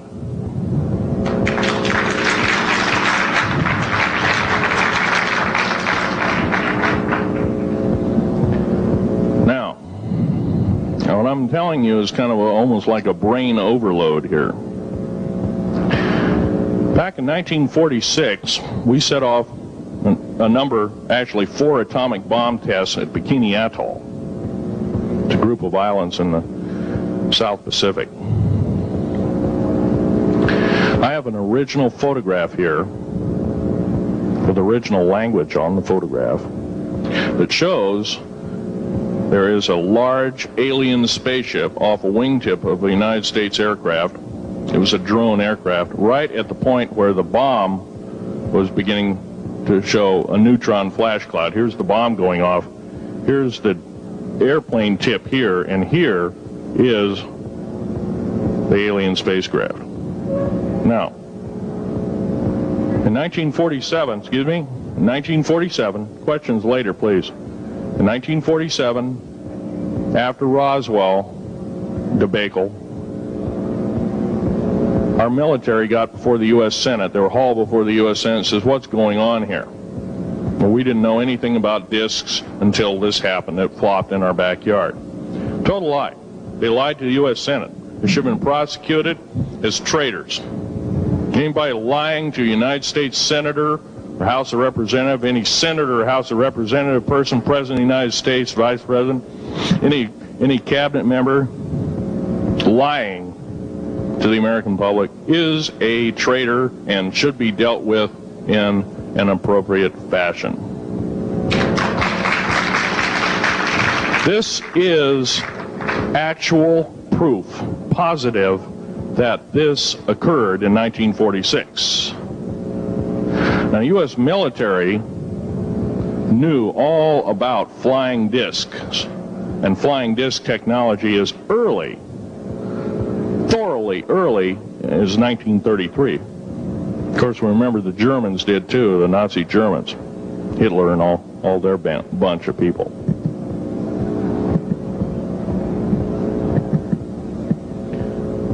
Now, it gets to the big question if if all this has been hidden from us, you know, everybody says, "Well, where's the proof?" I've got some of the proof laying on the table, but a lot of you probably are totally skeptical. They say, "Well, I could be anything."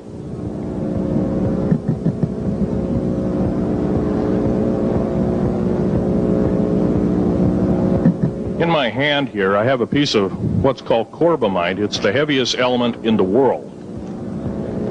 Element 140. This piece of material weighs 15 ounces. It's three and a half times the weight of uranium. It cannot be made to emit gamma rays. It cannot be isotoped. It is totally stable. It is used in all stealth aircraft and all Phoenix class submarines. When combined with other alien elements, it is impregnable. It cannot be melted with charged particle beam weapon. When properly combined in secretive compounds, it can withstand temperatures in excess of 10 million degrees Fahrenheit. Is grown by aliens who have given a good the other side of the alien question is some of these aliens have broken off from their mainstream and said, we're not getting a fair shake, and so this is what happens.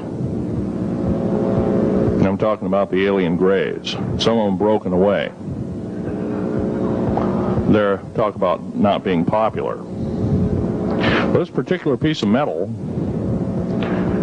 is an amazing piece of technology.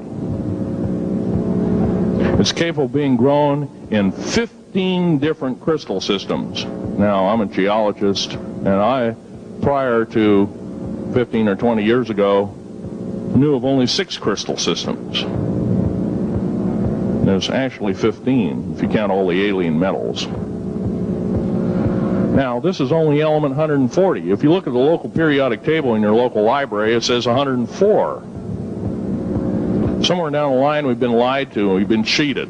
What we have to do is we have to literally ask for the truth. If we cannot ask for the truth, we must demand the truth. We must take it before courts of law in common law systems, and we must demand it.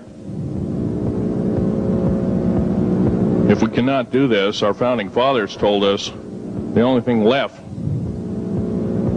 is to overthrow to get the parasites out.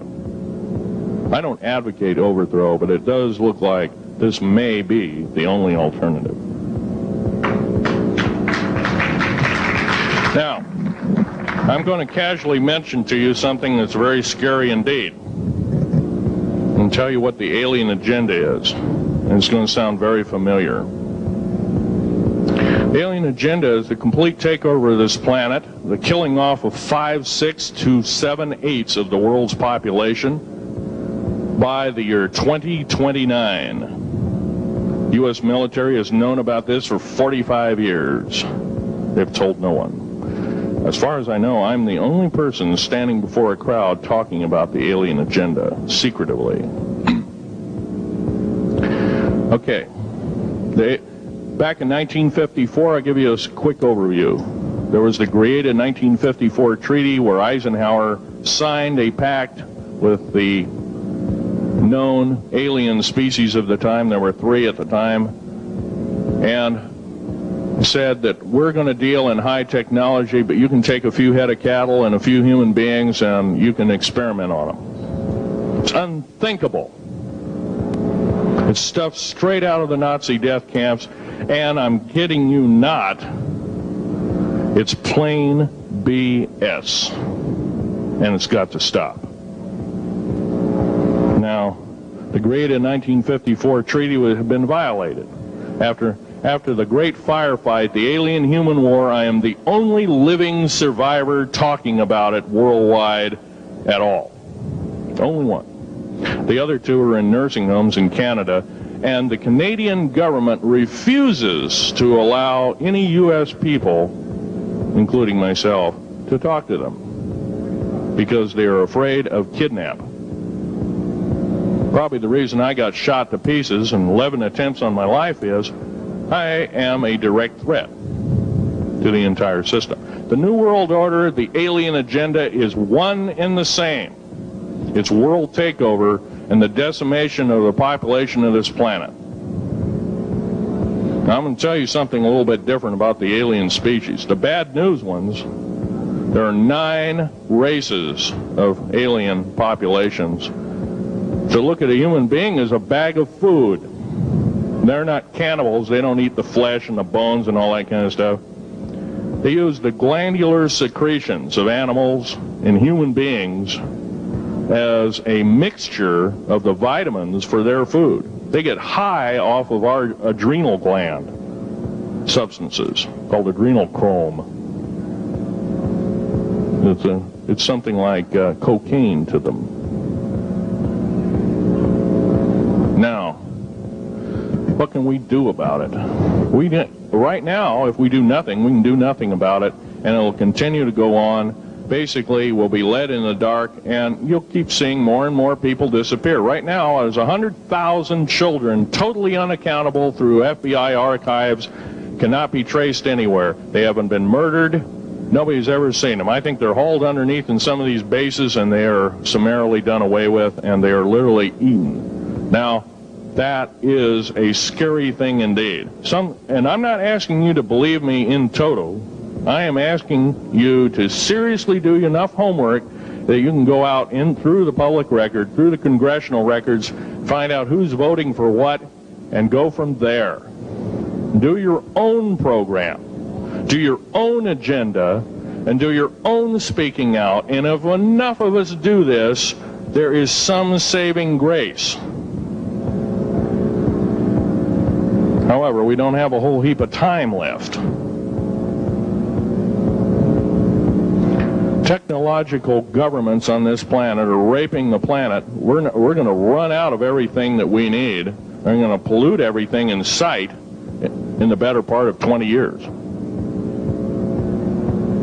Now, I know you've heard some poppycock stories. Oh, we're going to run out of coal. We're going to run out of gasoline. We're going to run out of this, that, and the other. And 25 and 30 year, years ago, you heard all this hogwash. Well, don't believe it. Basically, anything you read in a paper, you should take with a grain of salt. Start reading and what is missing out of the article. Ask yourself, what's missing in this article that I should know? Maybe that's the truth. Fill in the blank spots, so to speak. White copy is only one leg of the triangle. There are two other legs, two other pieces of the puzzle. What we have to do as a group of people, concerned people at that, and this group seems to be the, oh, quite that, is we have to assert ourselves in a way that we've never thought possible. Now, I'm not asking you to do what I'm doing. I'm telling you, what I'm doing is very important. Every one of you is equally important.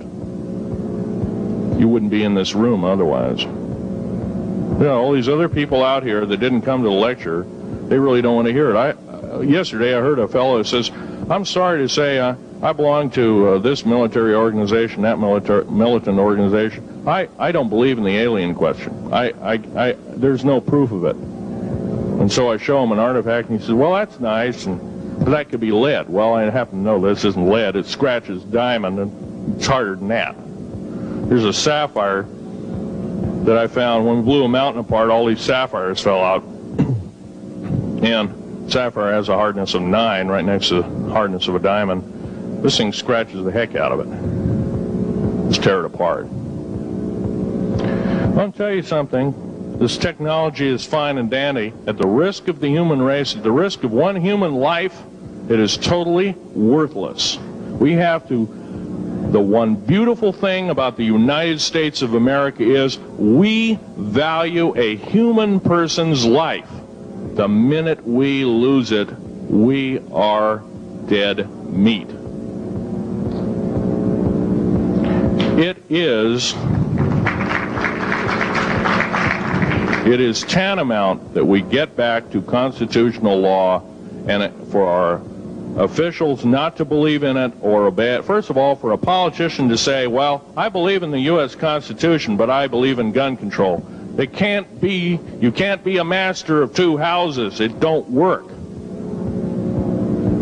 What you must do is tell that politician you are disobeying the Constitution of the United States that you're sworn to uphold, and you are in treason territory. Think about what you said. You have 30 days to make that apology. If you do not make that apology, you are a treasonous individual and should be prosecuted.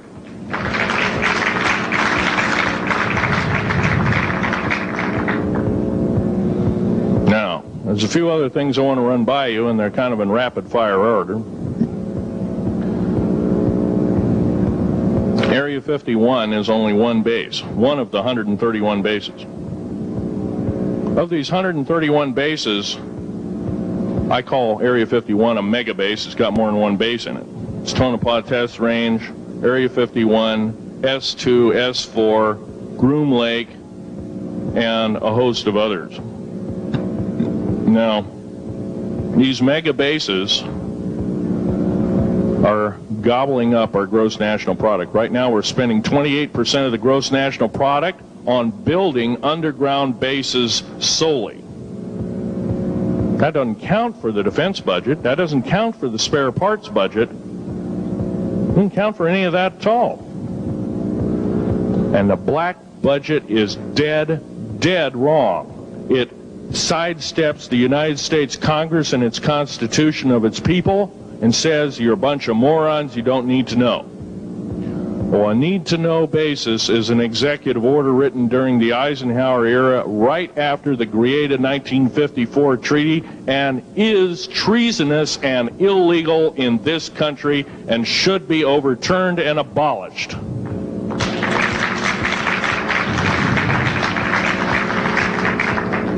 Now, I believe in military preparedness. I believe in military secrecy to some extent. There's always going to be spies out there, and there are always going to be people that want want your hunk of territory, your house, or your ground, maybe even a country like that. Yeah. Most of us remember what this crazy person in Russia, Zhirinovsky, had to say. We want Alaska back. Well, baby, you're not going to get Alaska back without a horrendous fight. Alaska is my land. I was born here in these United States. I have risked my life and limb for these United States, and I love my United States more than my life. And I will defend these United Sta- States against all foreign powers, foreign and domestic.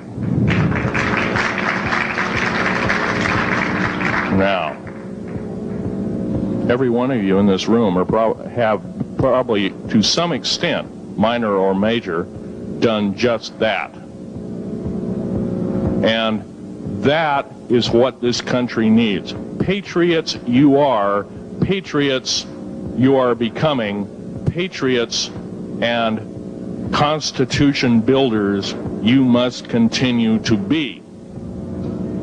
Now, all this alien thing is fine, except for one thing. Alien takeover is a serious threat. Kept totally out of the public view, off the surface, I'm sure the underground bases, without question, are being used as form a place to house alien takeover. Alien takeover means the implementation of a one world government. Direct opposite of constitutional law, direct opposite of freedom of choice, freedom of religion, other freedoms uh, that go with it, right to bear arms. We are the militia of the United States. Every single person who believes in the Constitution of these United States and its Bill of Rights is a militia member. Are we going to tolerate what we've heard from Ruby Ridge? Are we going to tolerate what we've heard from Waco? Are we going to tolerate uh, that a uh, fertilizer bomb blew six sub-basement floors? And I'm telling you something about sub-basement floors of a, a World Trade Center. They're 29 feet thick each with seven kinds of rebar reinforcement. The only weapon capable of doing such destruction and melting the concrete and extruding the rebar and the I-beam steel up to six feet in length longer than it originally was and melting the ends of it is a nuclear weapon. Now, the people they have in custody as fall guys may have been able to produce weapons and bombs and kill rabbis in New York, but I hate to tell you this, they did not have anything to do whatsoever with the World Trade Center bombing. The only thing used was a construction nuclear weapon. It was housed at Mather Air Force Base, the only place such things are kept. Incidentally, about Mather Air Force Base in Oklahoma City, Mather Air Force Base trucks were seen two weeks before the Alfred P. Murrah building got blown to pieces. Strange. I don't believe in coincidences. They're non sequitur. They cannot be proven mathematically, etc., etc. So they don't exist. However, Oklahoma City bombing a fertilizer and a and a uh, fuel oil bomb. Give me a break, folks. You can blow that one by my ears, but I'm not a dummy, and neither are you. Neither is anybody in this room. We've been lied to, and the lies have got to stop, and they must stop immediately. If our public officials cannot tell us the truth, then they cease to be public officials, and they are automatically guilty of treasonous acts and should be dry, tried and convicted, and if necessary, in jail, whether it be house arrest or otherwise, before they can do any more damage.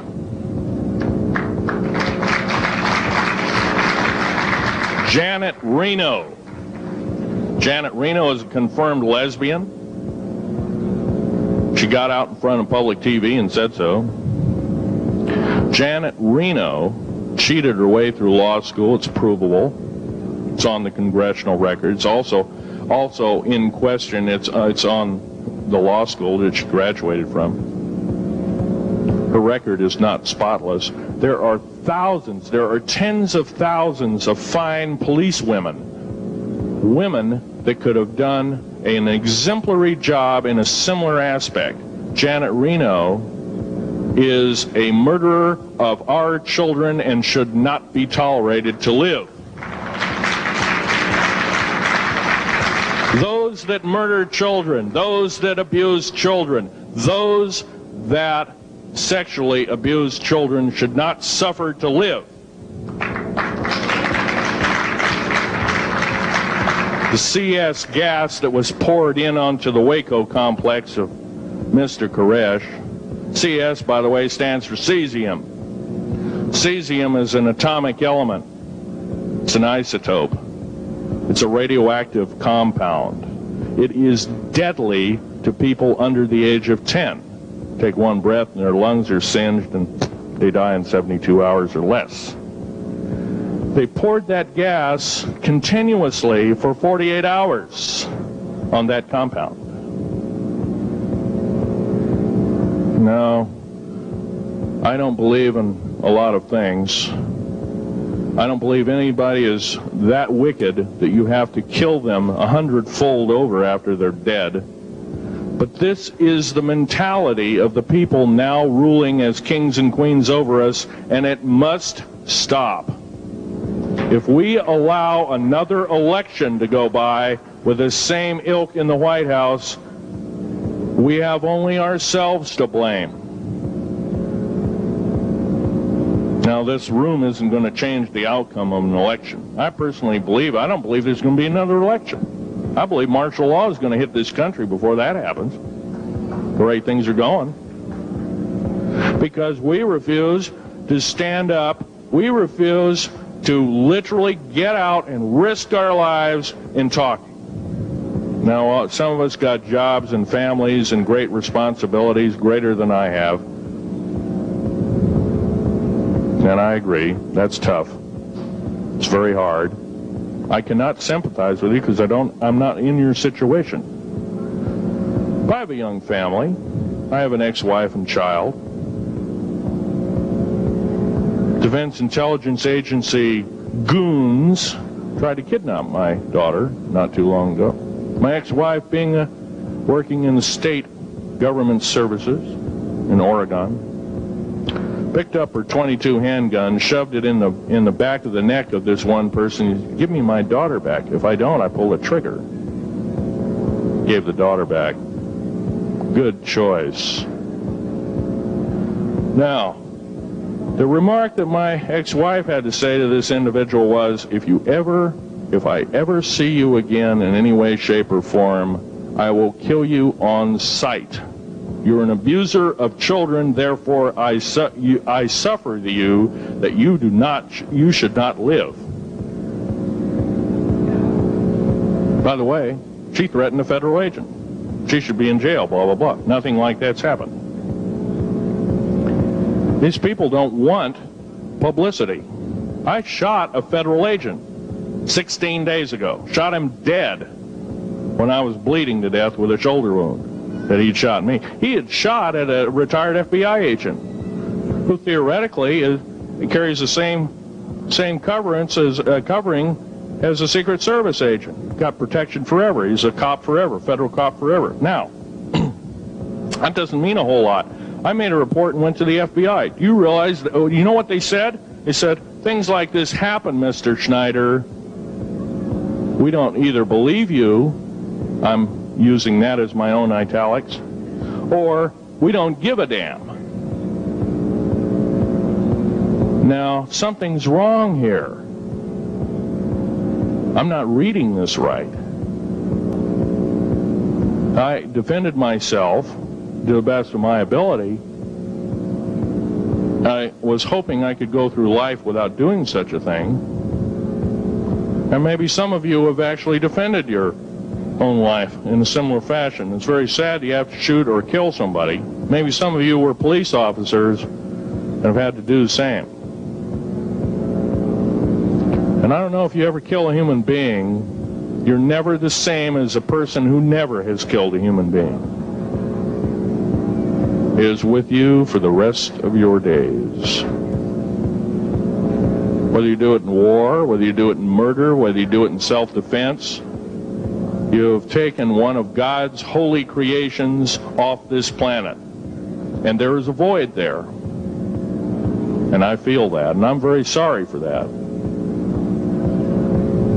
But I had to defend myself. Otherwise, I wouldn't be here. My message must continue. I'm doing it on my own money. And I'll continue to do it. As long as it takes. As long as I've got to live. I've got cancer. I'm dying.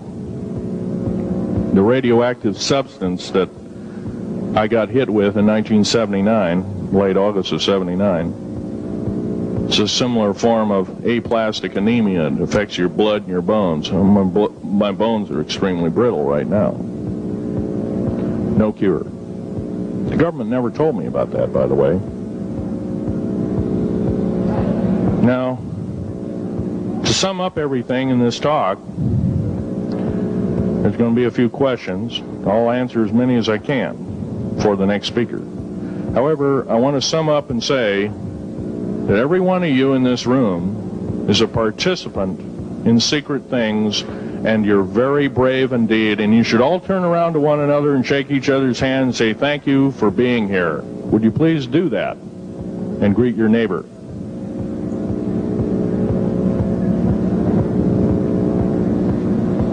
This is the way the world should be. There wouldn't be any wars. There wouldn't be any strife. Or if there was, it could be settled in a peaceable manner in a handshake. And that's the original American way, and I believe that way is still there, however remote at present time. Now, I'm going to sum up this talk and mention an overview of the alien agenda. The alien agenda is completely decimate the planet to take the remaining human subjects as slaves and the aliens would use this planet for their own means. Number one, this cannot be allowed to happen. The world takeover plans of the New World Order, a direct carbon copy blueprint from Adolf Hitler's routine of 1933 to 1938 must not be allowed to happen. That includes the name the New World Order. That was purposely used, folks, because most of us have been lazy. We have not read our history, and I'm talking to you because I'm one of them. We have not read our history books. Things have been omitted. Throw out basically what you've learned. I'm not asking you to believe me. I'm asking you to re-educate each one of yourselves and ask the unexpected of your public officials, of the people around you, your teachers. I'm not asking you to question authority. I'm asking you to question the teachers of this authority. Is this right? Is this law correct? If a law, one of the best statements to ever come out of the mouth of any human being, believe it or not, was, I think, by an incredible black man, the name of Jesse, not Jesse Jackson, but it was uh, Martin Luther King, excuse me, said, an injustice anywhere is a threat to justice everywhere. That should be a motto that we live by. Not so much for the man who said the motto, but I'm sure George Washington said something similar. Who said, an uninformed populace is a populace in slavery.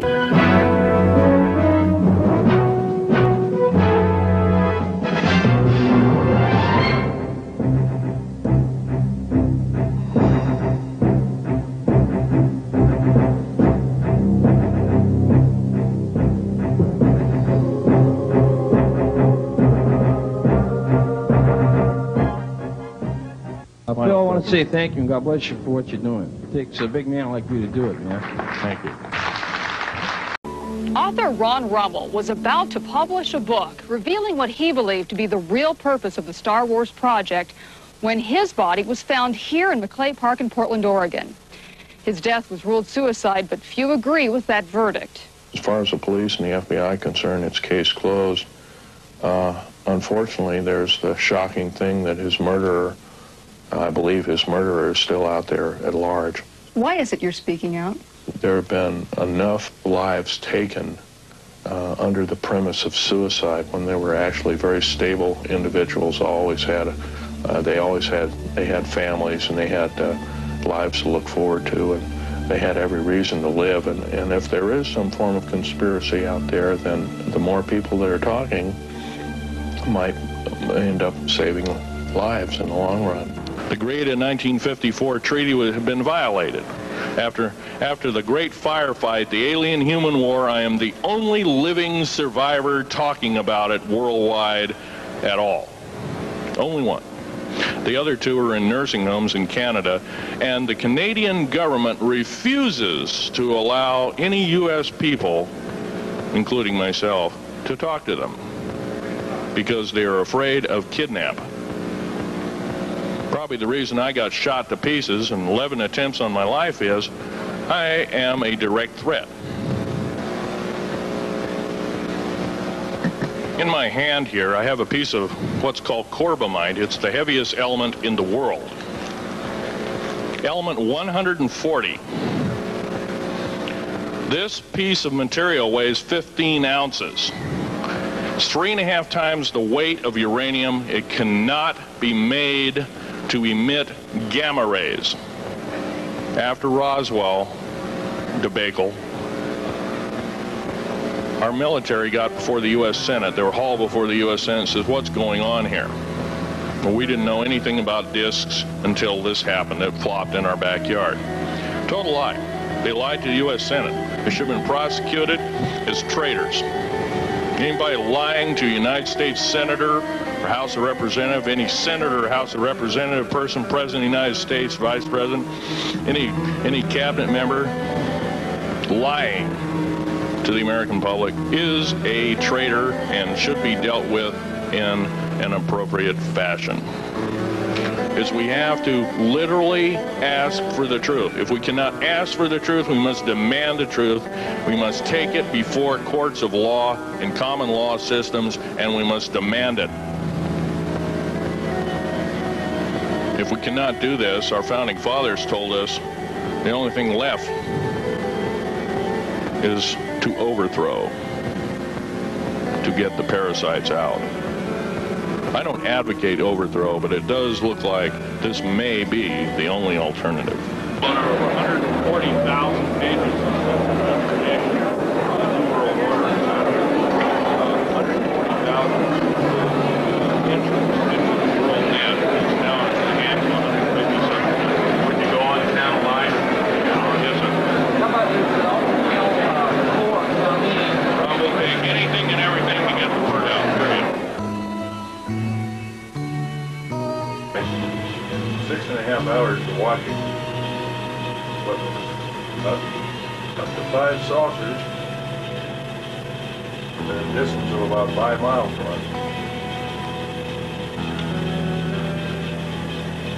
Desert floor, in a place where everybody else watches. I can tell you for a fact.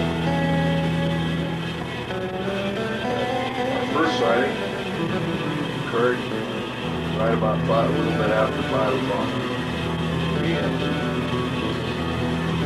Around Keep talking. minutes after after sunset.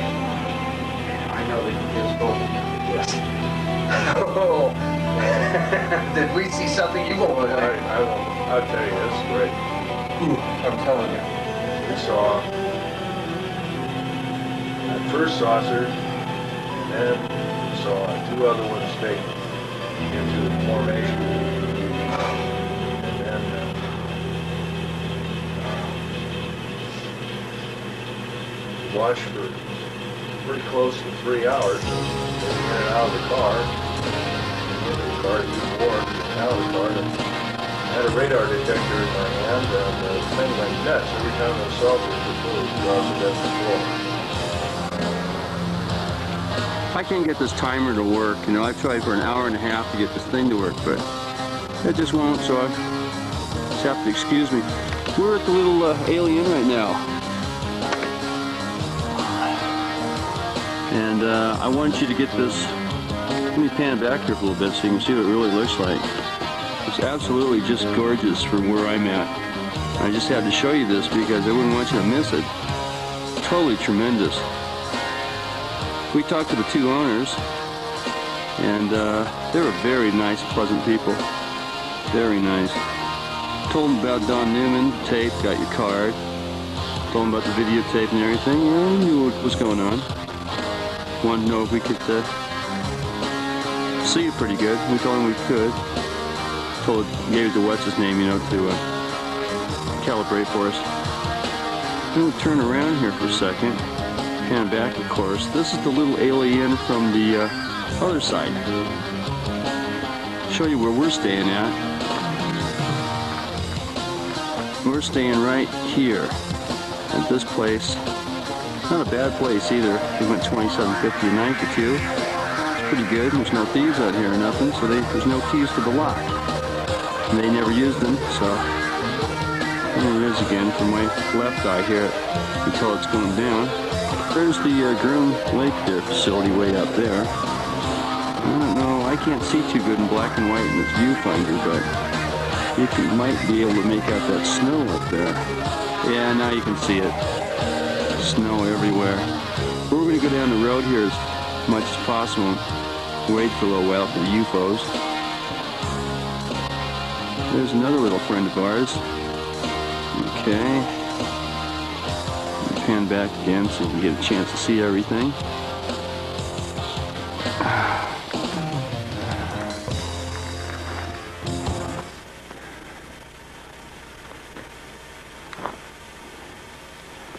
There's another friend of ours.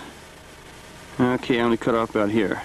You saw it moving, didn't you? Yeah, sure did. It I did a dog leg to the left, then it did uh, a ro- an about face straight up, and then it did a dog leg to the left. I mean to the right. I get really close on this bastard. He gets real strange on me. It's totally fucking round, Phil. Well, I'm gonna take a bead on him right now. Yeah, get the binocs out, quick. Sitting right on the bar. This is it, dudes. This is what we came to see. I got both my eyes open.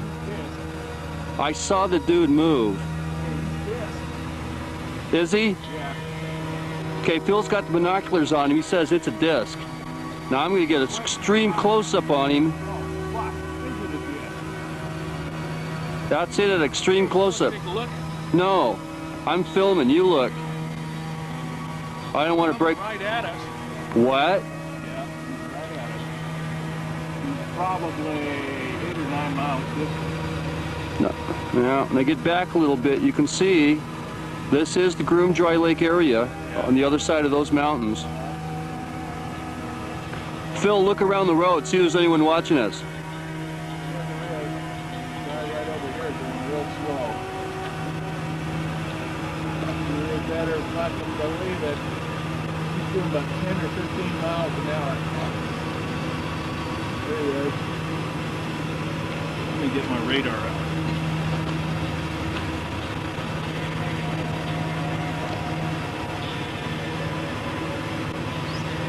Yeah, there he is. At the top. Somebody, there he is. He speeds up. Now, yeah, I got you. Now he speeds up. Real rippy. It's a Ford cab. Now, this guy's not moving, but we saw him move. Yeah. There's a Ford twin cab, and he's going up by the uh, Atomic Energy Road. Yeah? Yeah. Phil, got it running. I can't see anything. I'm hoping that this thing will come in on the film anyway right now. I got the advanced gain button up. This thing's going nuts. I know it. If you guys can hear this tape, we have been watching two flying saucers for what, about the last half hour? Yeah, last half hour. At least the last half hour. It's about 10 to 20 degrees below zero out here. Hey, it looks like I'm getting a heat mirage on this thing. I can't pick them up, but I'm getting heat mirages. From this far back. So I'm lucky I turned this thing on. I don't know if it'll come out on the film or not. But I can see the heat mirage right here. I got both my eyes open so I can see down there and right in here. But believe me, I can't. I can't see anything out of this camera. Yeah, the radar detector went nuts there. I move the camera back and forth. See me? Yeah. The heat mirages stay right in the middle, no matter what I do. Are they going? Yeah, they're off the floor. Okay.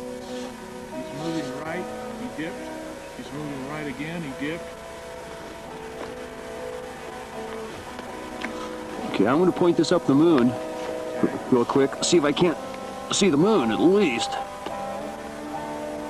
No, I won't even pick up the moon. Really? Oh, I got it now, all right.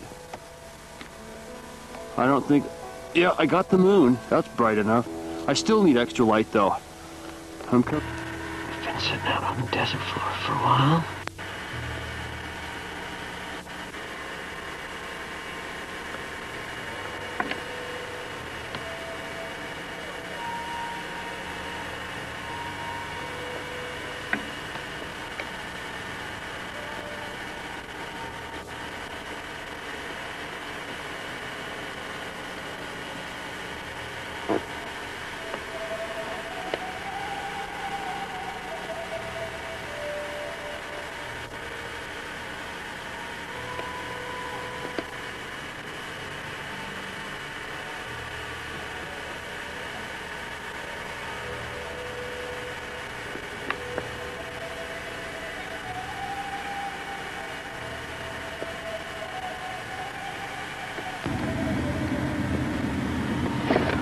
I'm just trying to aim this by eye.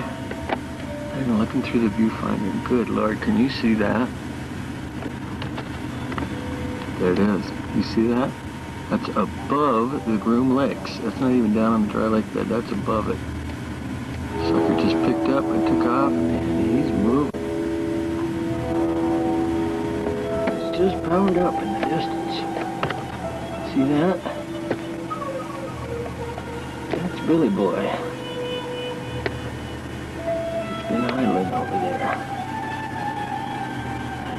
Doing a full zoom right now for you. Billy Boy Island. And it's a full zoom of Billy Boy Island. Actually, what should we name this saucer, huh? Oh, see? Just dimmed out. Okay, now listen. Wow, I just did this. Okay, now listen, you guys. We're at the same place that you saw in the movie where all the trucks are stopping, the Billy Goodman shows at. We're in the exact same spot.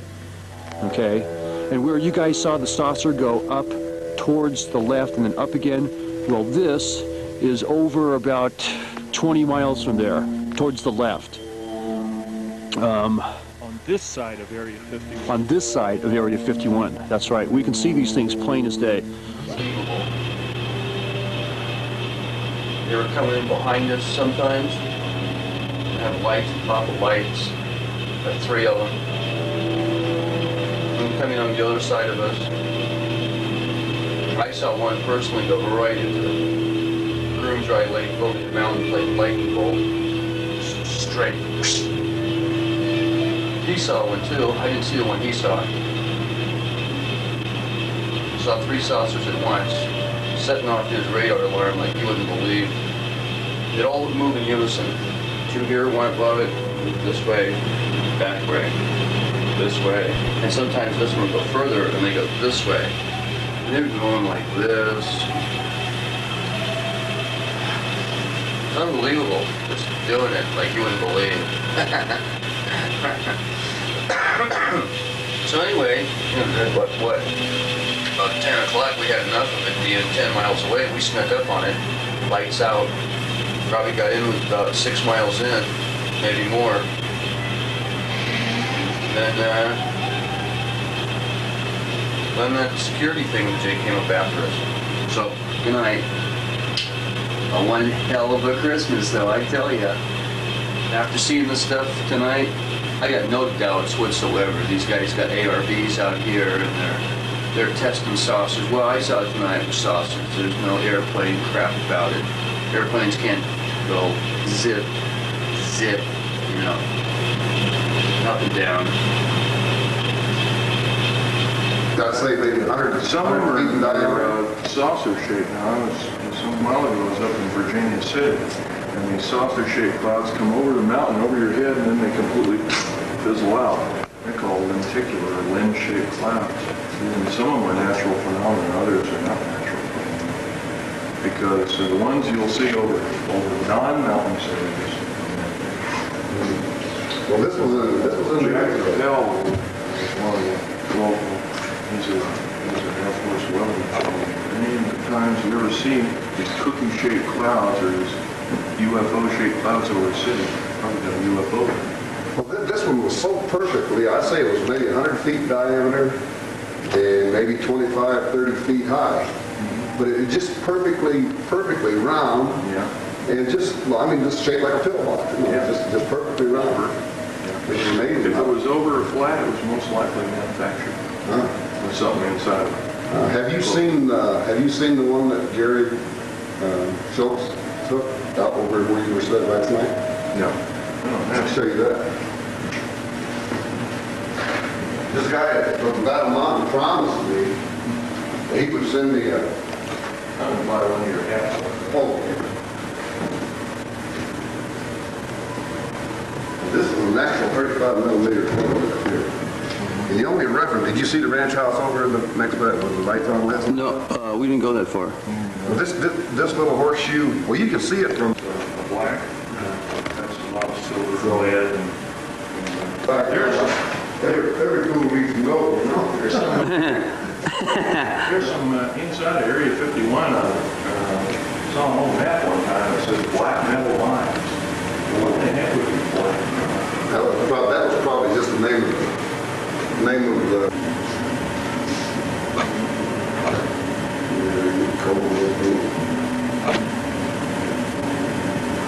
Sometimes I'll check it. Scrooge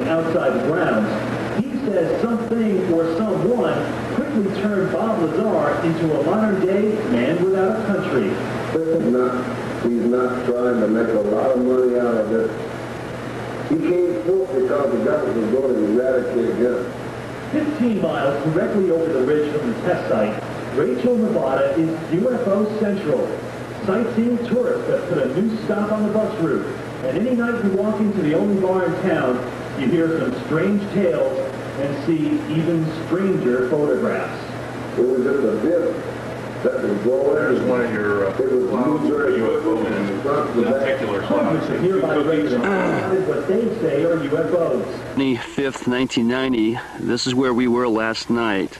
This is the same patch of road where Billy Goodman and all the other people come here. Give you an example where we are looking this way. This is going west towards Tonopah. Show you the road behind us here. This is at full zoom magnification. The road's back there. I don't think you can see it from here. Anyway, there's the car we were at. This is how we were parked. There's the other road we took a ride on last night to go see the saucers that were downed. They were landed flying saucers, there's no doubt about it.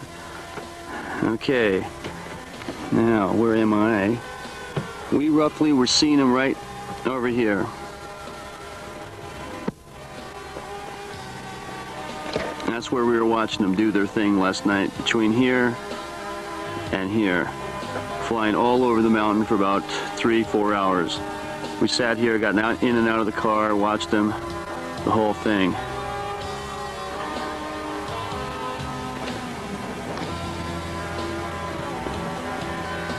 Yeah. Okay. So this is it. This is it. Somewhere on the other side of those hills right there, and I get you a close-up of this, is probably S4. That's where they were testing, right in there. Give you a good idea of where it's at. And man, I'm telling you, they tested something fierce. Okay, I'm shutting it off now. This is down last night with the lights off, about 10, 15, 10:30. Catch those two grounded saucers. Give you an idea here. It's a little bumpy. I'm going to shut this thing off, but you get a general idea. We had to have our lights off all the way down.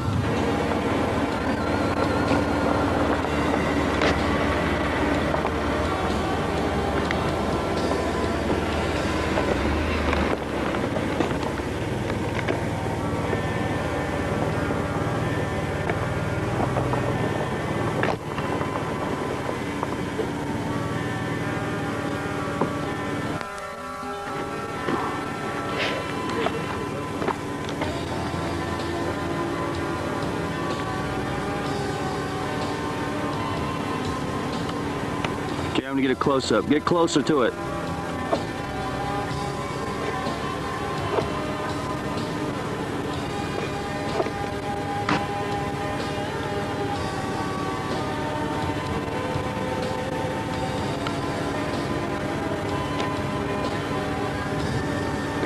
And there's those guys probably looking at us right now, checking us out.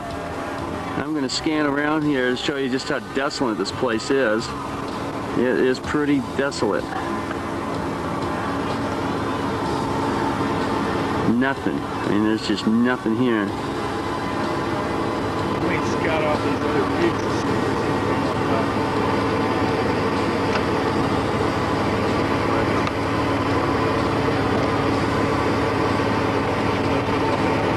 There's the road we came in on. So it's- you can tell it's way the heck over there.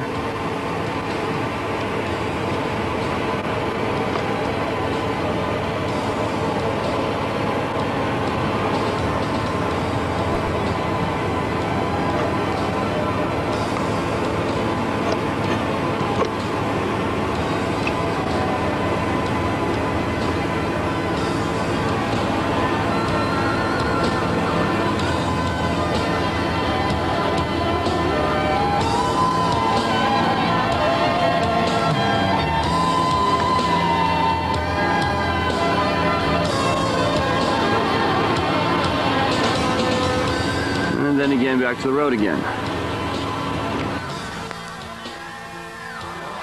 See that little hill right there? We're gonna go climb up on top of that, take a spin around so we can see all sides of the 360. There's the car. A little dusty in the road there. We walked all the way up here. It's cold. It's windy.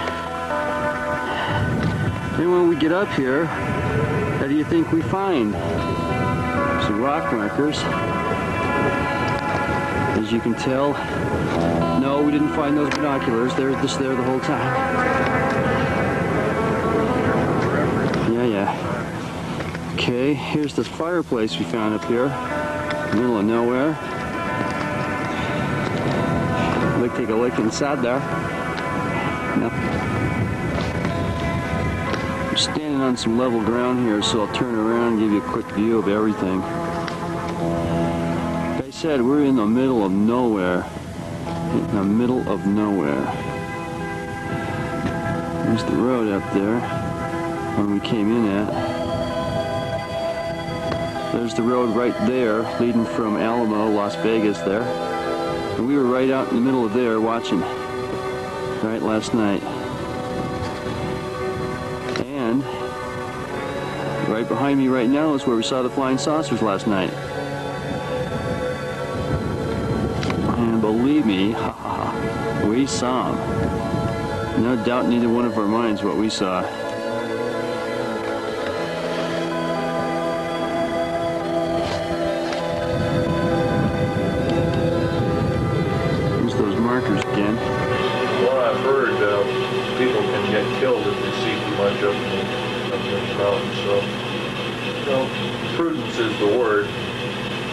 Right. Gotta use prudence. So, you know, and anyway, I was getting calls, twenty below zero out there, for God's sake.